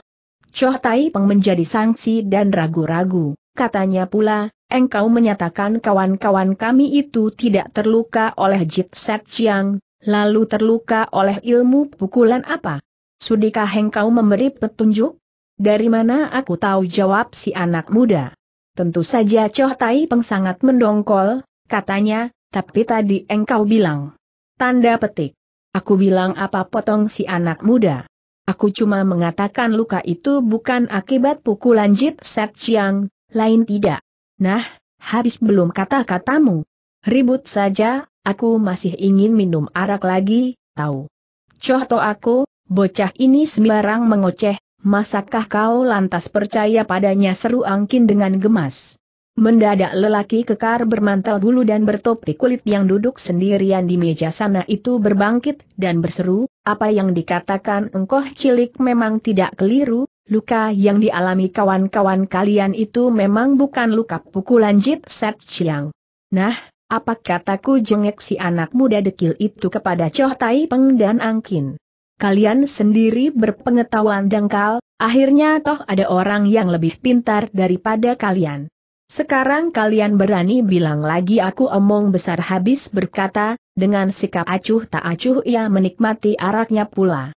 Tampilnya lelaki kekar itu seketika menarik perhatian semua orang yang hadir di situ, serentak orang-orang itu berpindah ke sana dan mengerumuninya, anak muda kotor itu tidak digubris lebih lanjut.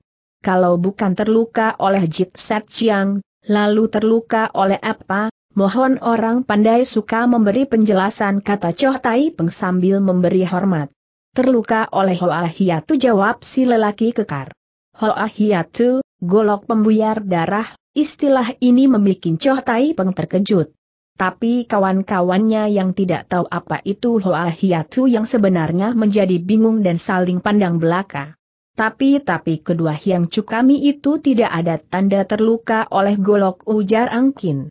Namanya Hoa Hiatu, tapi sebenarnya bukan permainan golok, melainkan semacam ilmu pukulan berbisa, yaitu satu di antara dua ilmu berbisa dari keluarga Siang yang terkenal, demikian tutur Choh Tai Peng.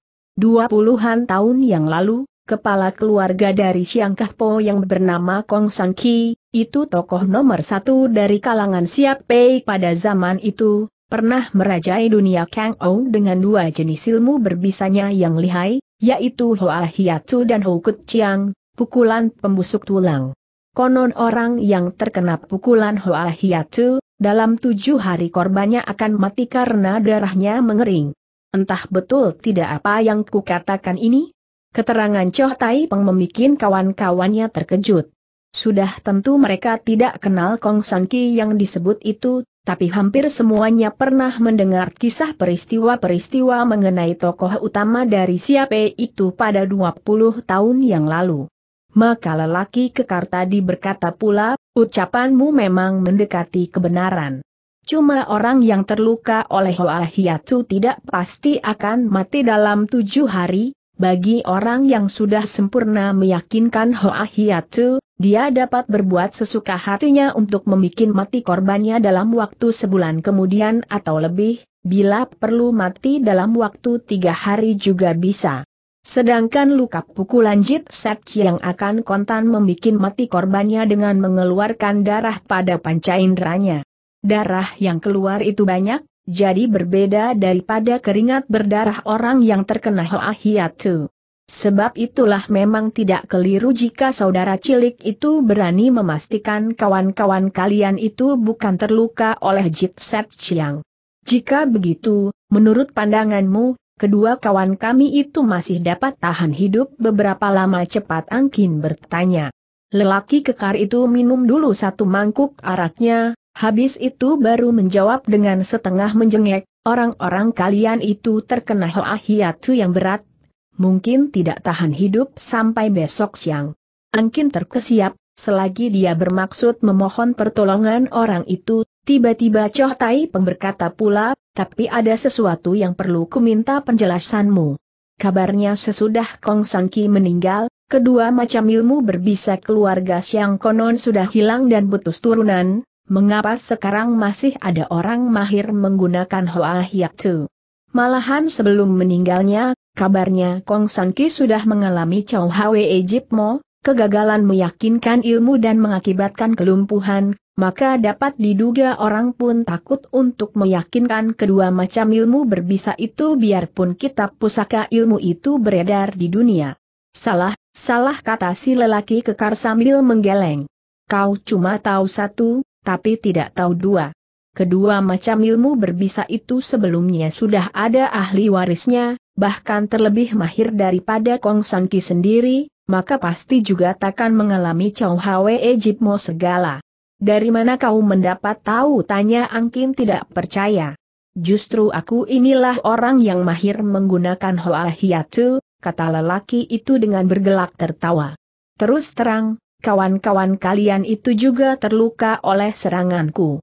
Keterangan ini membuat semua orang menjadi terkejut dan gusar pula. Watak Angkin paling berangasan, tanpa pikir ia terus menubruk maju. Jangan, Angto aku cepat Choh Tai Peng mencegahnya.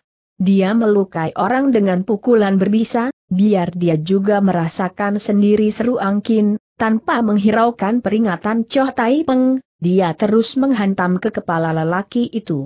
Angkin meyakinkan Tok Sah Chiang, pukulan pasir berbisa, ia pikir biar keparat ini pun merasakan pukulanku yang berbisa, bila dia terluka baru dapat memaksa dia tukar menukar obat penawar racun. Bagus. Aku memang ingin belajar kenal dengan Tok Sah Chiang Ang Pang Chu ejek lelaki kekar itu. Belum lenyap suaranya, terdengarlah suara plak yang keras, kontan angkin jatuh terjengkang ke belakang terus menggelinding jatuh ke bawah loteng. Apa yang terjadi itu cepatnya luar biasa, sampai-sampai care bagaimana si lelaki kekar menyerang juga tidak terlihat jelas oleh mereka. Si botak Li Hwi berhubungan paling karib dengan Angkin, dengan sendirinya ia tidak tinggal dia melihat sahabatnya kecundang, dengan gusar ia lantas berteriak, kelima perkumpulan besar kita di Lembah Hong, Ho masakah terima dihina orang sesukanya di bawah dorongan Lei Hwi itu, serentak kawan-kawannya ikut menerjang maju. Oh, kalian ingin berkelahi kata lelaki itu. Tapi di ruangan restoran ini terlalu sempit, biar aku menyuguh kalian minum arak dulu habis berkata, tiba-tiba ia menyemburkan arak yang dikumurnya, Seketika Lei Hwi dan kawan-kawannya tersemprot oleh hujan arak itu hingga kepala dan muka mereka pedas kesakitan, semuanya menjadi jeri, dalam keadaan mata, tertutup karena khawatir tersemprot air arak, cepat mereka melompat mundur lagi. Dengan sendirinya semburan arak itu ada sebagian menciprat ke meja lain. Maka anak muda kotor yang semeja dengan Hon Pweng itu berseru, wah, Panas benar berbareng ia mengeluarkan sebuah kipas lempit, lalu dikebas-kebaskan sehingga air arak yang menciprat tiba terkipas jatuh semua. Meski Li Hwi dan kawan-kawannya cepat melompat mundur karena semprotan arak itu, tapi lantaran mundur dengan mata meram dan sempoyongan, Tiba-tiba seorang di antaranya terhuyung-huyung dan hampir menumbuk pemuda desa yang sejak tadi duduk di tempatnya tanpa menghiraukan kejadian di sekitarnya.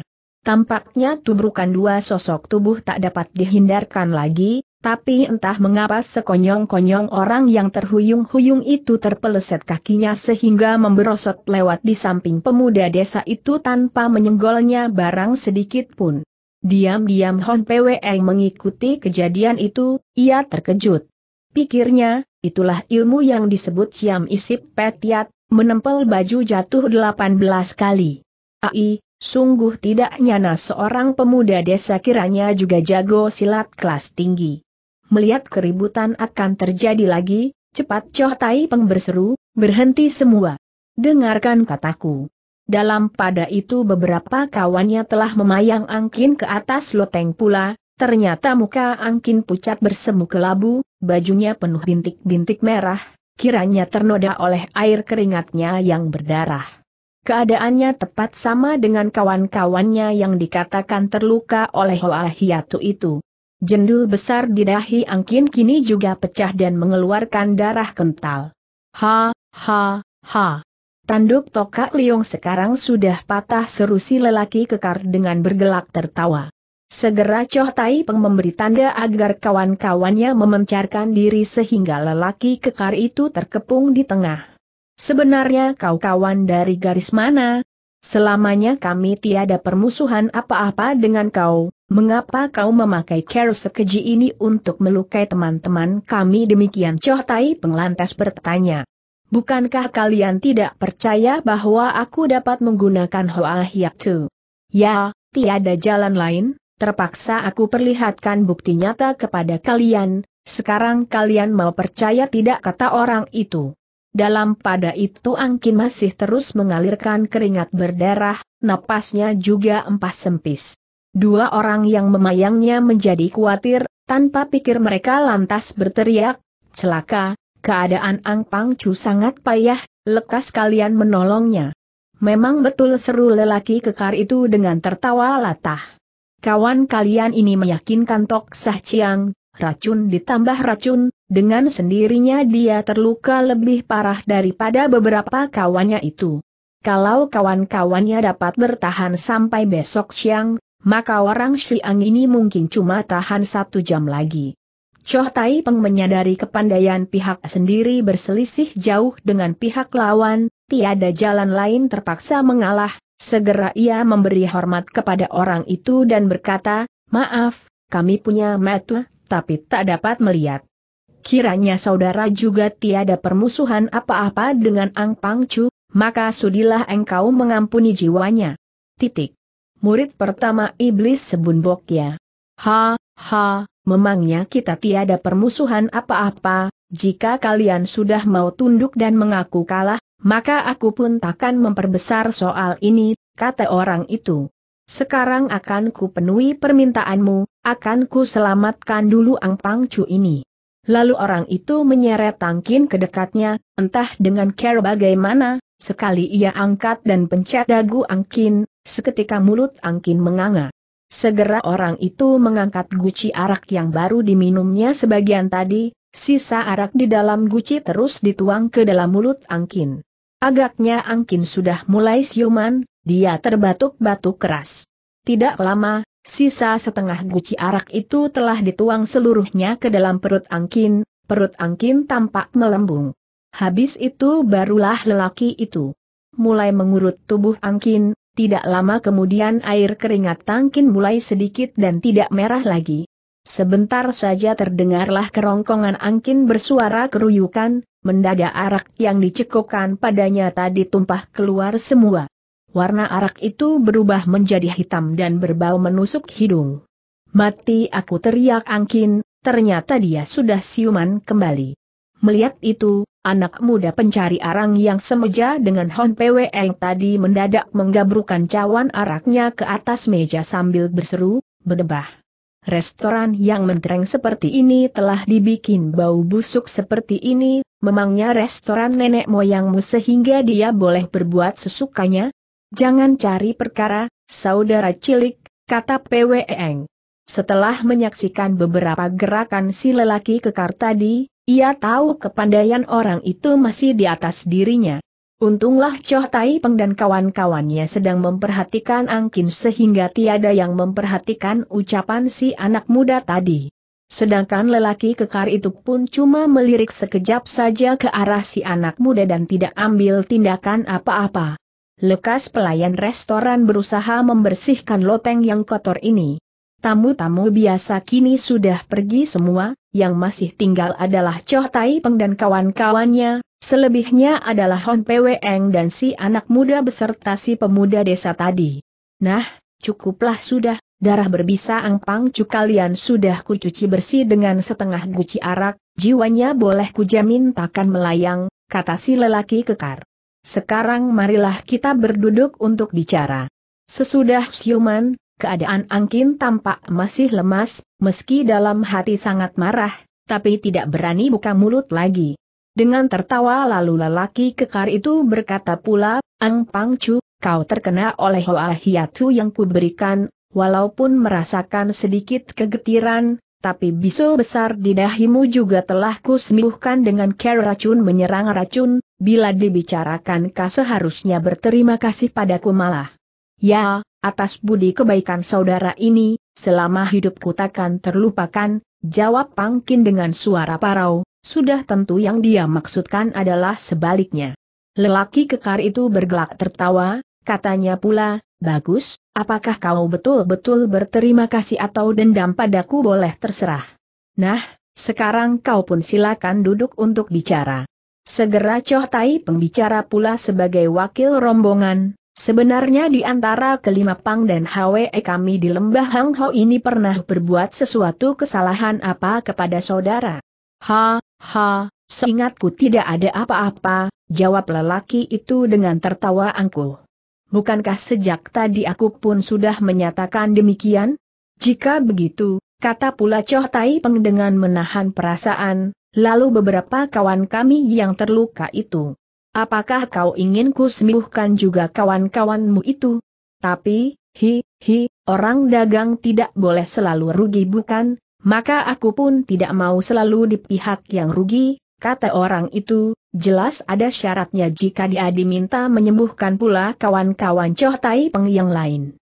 Sudah tentu setiap orang dapat menangkap maksudnya, tapi apa daya, dalam keadaan kepepet, terpaksa Choh Tai pembicara pula, numpang tanya siapakah nama saudara yang mulia? Sebenarnya ada keperluan apa berkunjung ke tempat kami ini?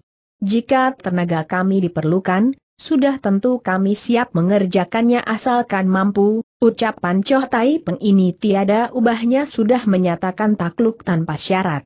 Lelaki itu tampak sangat senang, kembali ia habiskan semangkuk arak, lalu berkata pula, nama Sebun Bokya yang termasyhur pernah kalian dengar atau tidak? Mendengar nama itu, semua orang menjadi tercengang. Bukan saja mereka tidak pernah mendengar nama yang dikatakan itu, bahkan tidak layak bahwa orang yang memperkenalkan namanya sendiri mengaku sudah termasyhur segala. Tapi di bawah pengaruh sikap orang yang garang itu, mau tak mau mereka menjawab, ya, nama Sebun Siansing yang maha termasyhur sudah lama kami dengar bagai bunyi geledek, beruntung sekali hari ini kami dapat berkenalan dengan Sebun Siansing. Tiba-tiba Choh Tai pengingat cerita seorang teman dari daerah Kuanteng bahwa akhir-akhir ini di Kuanteng baru muncul seorang gembong iblis, namanya jelas disebut Sebun Bokya.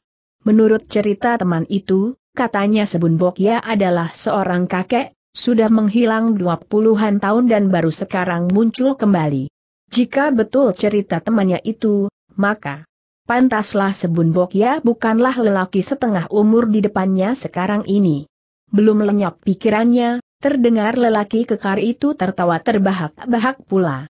Semua orang menjadi bingung, cepat mereka bertanya, mengapa Sebun Siansing tertawa? Aku sendiri bukan Sebun Bokya, kata lelaki itu. Sebun Bokya adalah guruku, aku adalah muridnya yang tertua, Po Yang Kian. Sembari bicara, jarinya terus menggores di atas meja sehingga menjadi tiga huruf Pok Yang Kian, begitu dalam goresan itu sehingga mirip seperti ukiran. Baru sekarang semua orang menyadari mereka telah salah menjilat orang, tapi untung orang yang dijilat itu ada hubungan guru dan murid dengan lelaki itu, jadi kesalahan mereka pun selisih tidak terlalu jauh. Choh Tai penglantas berkata, konon gurumu tahun yang lalu telah muncul kembali dan menjagoi daerah Kuanteng. Sayang kami banyak pekerjaan, Perjalanan sangat jauh pula sehingga tidak dapat berkunjung ke Kuanteng untuk menghadap gurumu. Ha, ha, ha, tidaklah sukar jika kalian ingin menghadap beliau, kata Pok Yang Kian dengan tertawa. Terus terang kedatanganku ini adalah untuk membuka jalan bagi guruku. Paling lama setengah tahun lagi atau mungkin cuma tiga bulan saja tentu guruku akan tiba di sini untuk bertemu dengan kalian.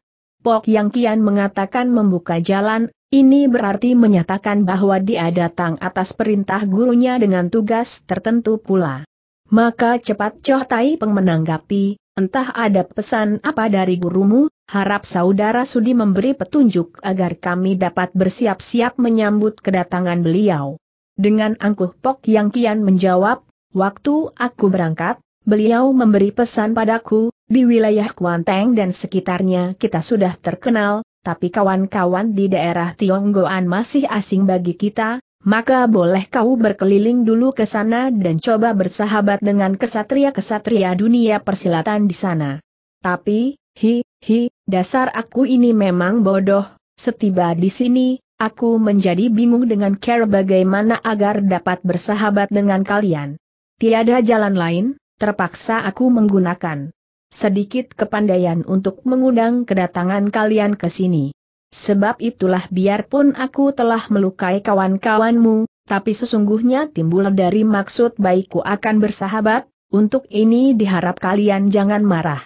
Sudah tentu semua orang sangat mendongkol, mana ada care bersahabat begitu? Tapi di bawah pengaruh ilmu silat orang yang liai, semuanya tidak berani buka mulut meskipun mendongkol dalam hati. Selang sejenak barulah Choh Tai pembicara pula, banyak terima kasih atas perhatian gurumu yang sudi bersahabat dengan kami di sini.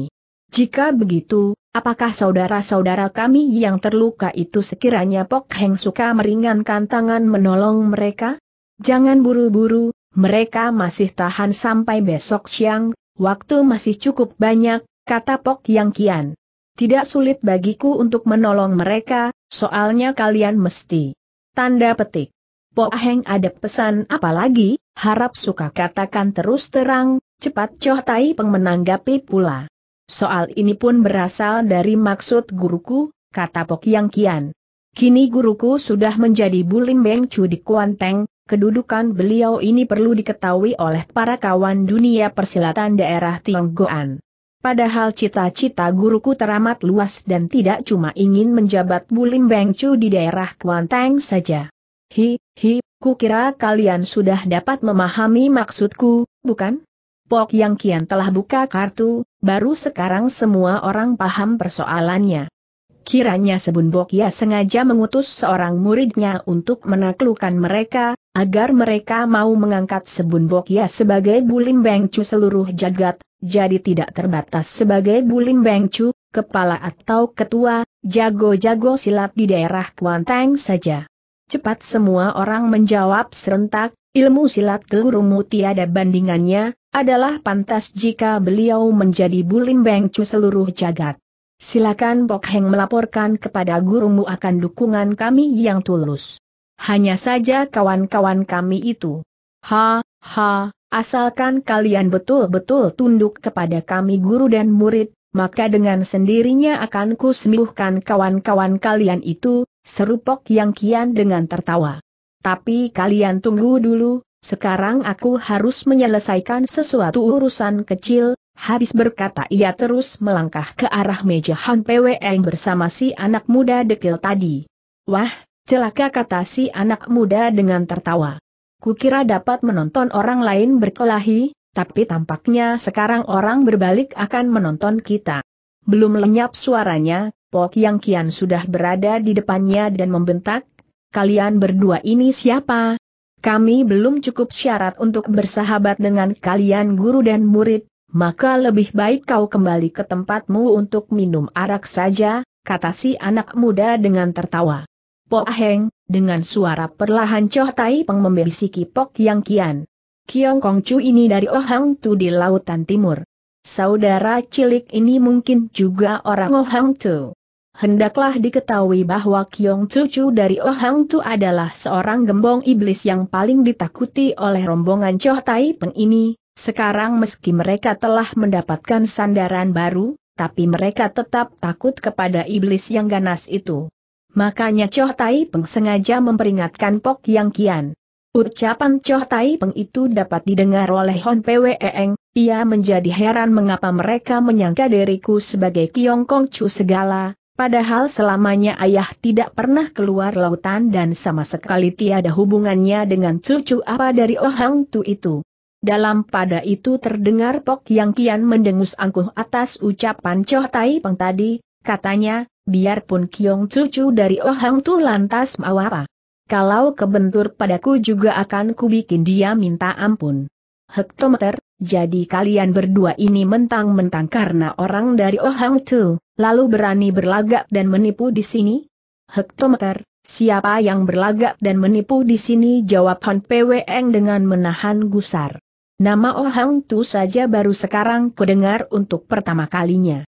Sebenarnya aku tiada sangkut paut sedikit pun dengan Kiong Chu atau Kiong Kong Chu segala, kalian sendiri yang mengoceh sejak tadi.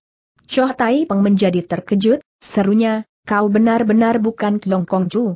Habis mengapa kau menerima kartu persembahan kami tadi Li Hwi menambahkan. Hektometer, kalian sendiri yang mengangsurkan, memangnya siapa mengharapkan kartu apa segala dari kalian jengek PWEng. Benar, kembalikan saja kepada mereka daripada membikin kotor meja kita, timbrung si anak muda dekil tadi. Sekali Han Pweng ayun tangannya, Seketika satu tumpukan kartu kehormatan melayang ke sana berserakan. Nah, terima kembali kartu kalian katanya. Belum lenyap suaranya, tertampak kedua tangan Pok yang kian meraup ke sana dan menangkap ke sini ke udara, dalam sekejap saja segenap kartu itu telah jatuh di tangannya semua. Dengan bergelak tertawa ia lalu berkata, Ha, ha, kalian emoh, aku yang mau. Serahkan saja padaku daripada mereka susah-susah menyiapkan kartu penghormatan lagi. Padahal kartu adalah sehelai kertas yang enteng saja, kepandaian Hon Pweng boleh dikata luar biasa karena sanggup menyambitkan setumpukan kartu itu seperti menyambitkan senjata rahasia.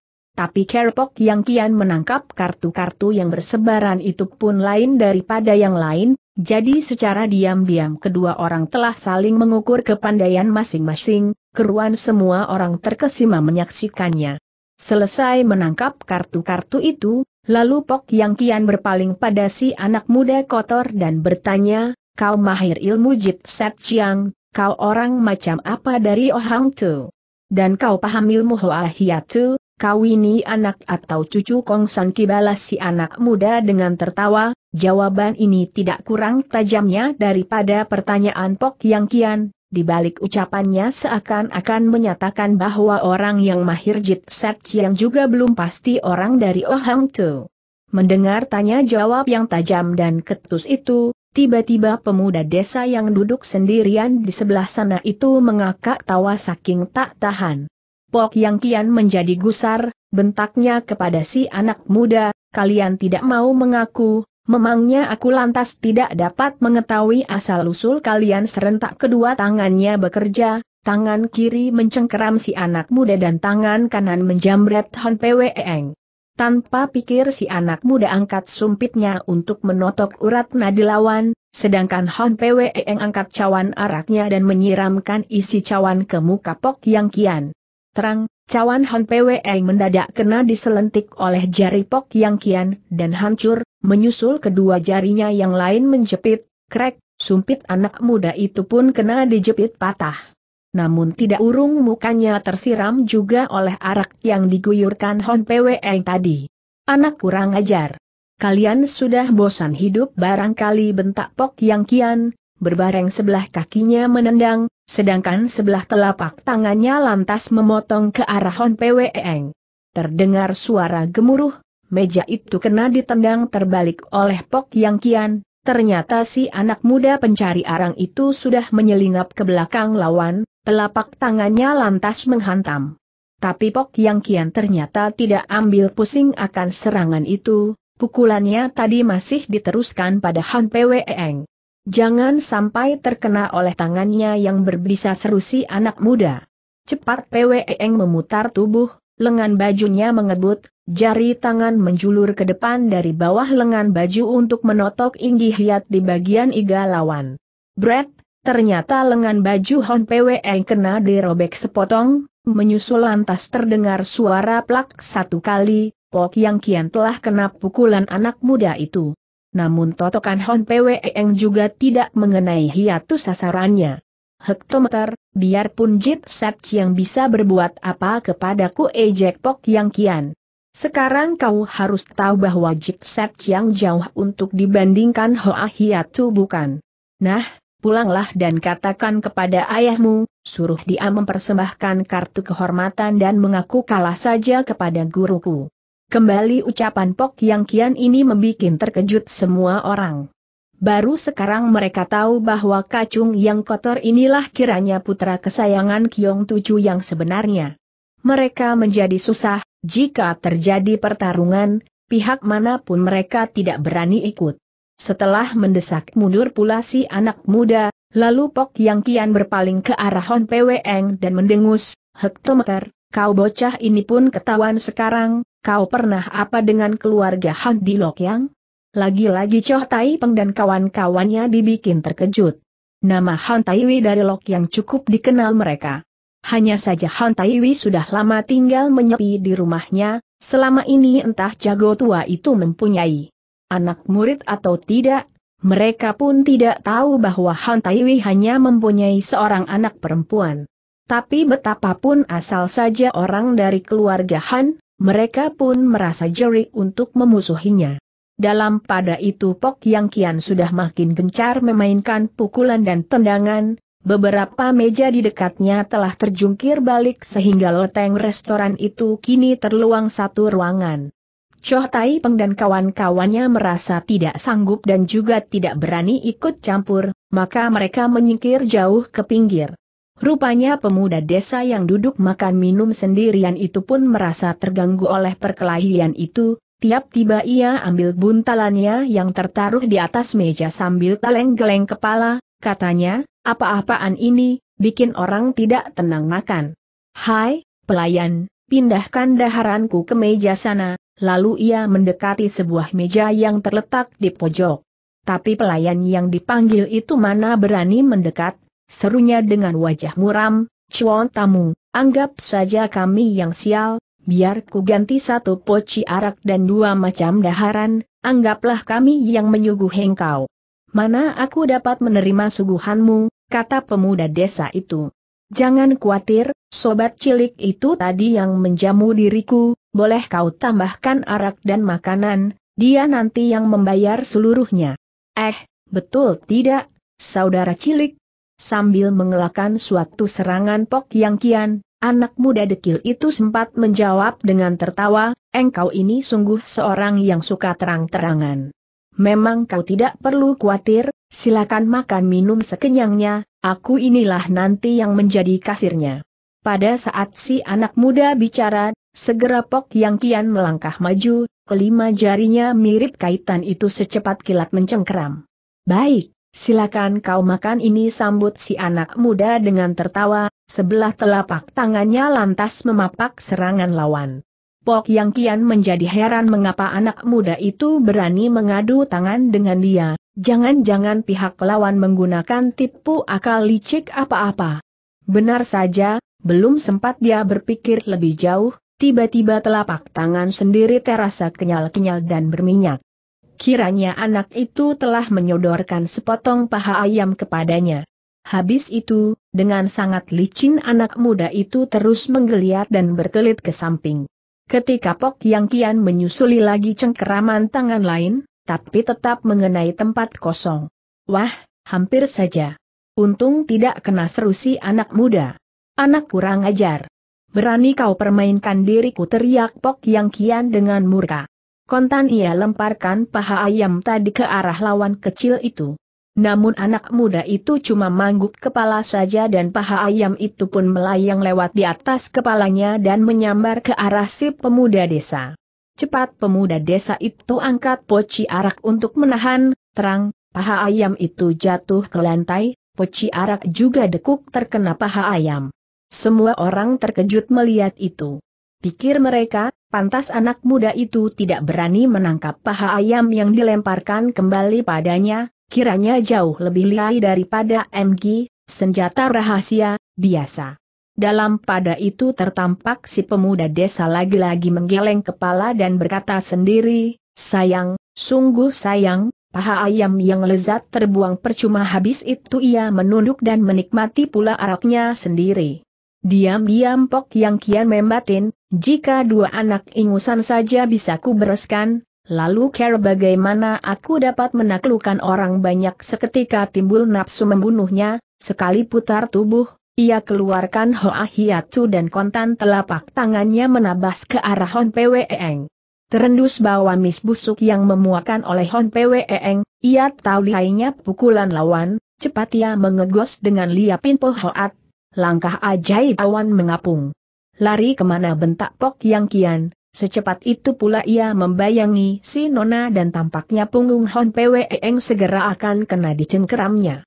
Untunglah pada saat yang sama, dengan cepat luar biasa si anak muda dekil juga sudah memburu maju, segera ia pun menotok dari samping, jarinya menyambar ke muka Pok yang kian, biji matanya yang diarah. Serangan maut ini memaksa lawan harus menyelamatkan diri lebih dulu. Keruan Pok yang kian menjadi gusar, teriaknya murka, baik, biar ku mampuskan dulu kau anak jadah ini sambil berkelit, tangan kiri segera memapak ke atas untuk menangkap dan bermaksud mematahkan jari lawan. Tapi tangan si anak muda keburu ditarik ke samping, berbareng lantas berubah menjadi telapak tangan dan menabas ke bawah. Pok Yang Kian sedikit mendek, sikunya lantas menyodok sehingga anak muda itu tertumbuk mundur beberapa langkah, sebaliknya si Kupok Yang Kian juga kena tertabas oleh telapak tangan si anak muda, rasanya sakit pedas. Kiranya anak muda itu telah memakai sepasang sarung tangan dari benang emas, makanya ia tidak takut lagi mengadu tangan dengan Pok Yang Kian. Han Heng, terhadap manusia keji dan berbisa demikian, tidak perlu sungkan-sungkan lagi padanya, seru si anak muda kepada Han Pwe Eng. Hayolah, kalian boleh keluarkan senjata saja jengek Pok Yang Kian. Dengan bertangan kosong memang Hon Pwe Eng rada repot karena khawatir terkena tangan lawan yang berbisa. Tapi demi mendengar kata-kata Pok Yang Kian, ia pikir kalau menggunakan pedang tentu akan dipandang rendah oleh lawannya itu. Segera ia sambar sepasang sumpit, lalu berkata, baiklah, biar aku main-main dengan kau. Padahal tadi Pok Yang Kian sudah menjepit patah sumpit si anak muda yang akan digunakan menotok, sekarang melihat Hon Pwe Eng mengulangi lagi permainan kawannya, tentu saja Pok Yang Kian merasa geli dan mendongkol pula, segera ia menjawab, bagus, biar aku melayani kau main-main, segera ia pun mengulangi gerak serangan tadi, kedua jarinya menjulur untuk menjepit sumpit Hon Pwe Eng yang sedang menotok ke arahnya. Tak terduga Ker, Tiam Hiat, menotok, Han Pwe Eng ternyata jauh lebih mahir daripada si anak muda dekil, sedikit sumpitnya berputar ke bawah, segera Lo Kiong Hiat di tengah telapak tangan Pok Yang Kian yang diincar.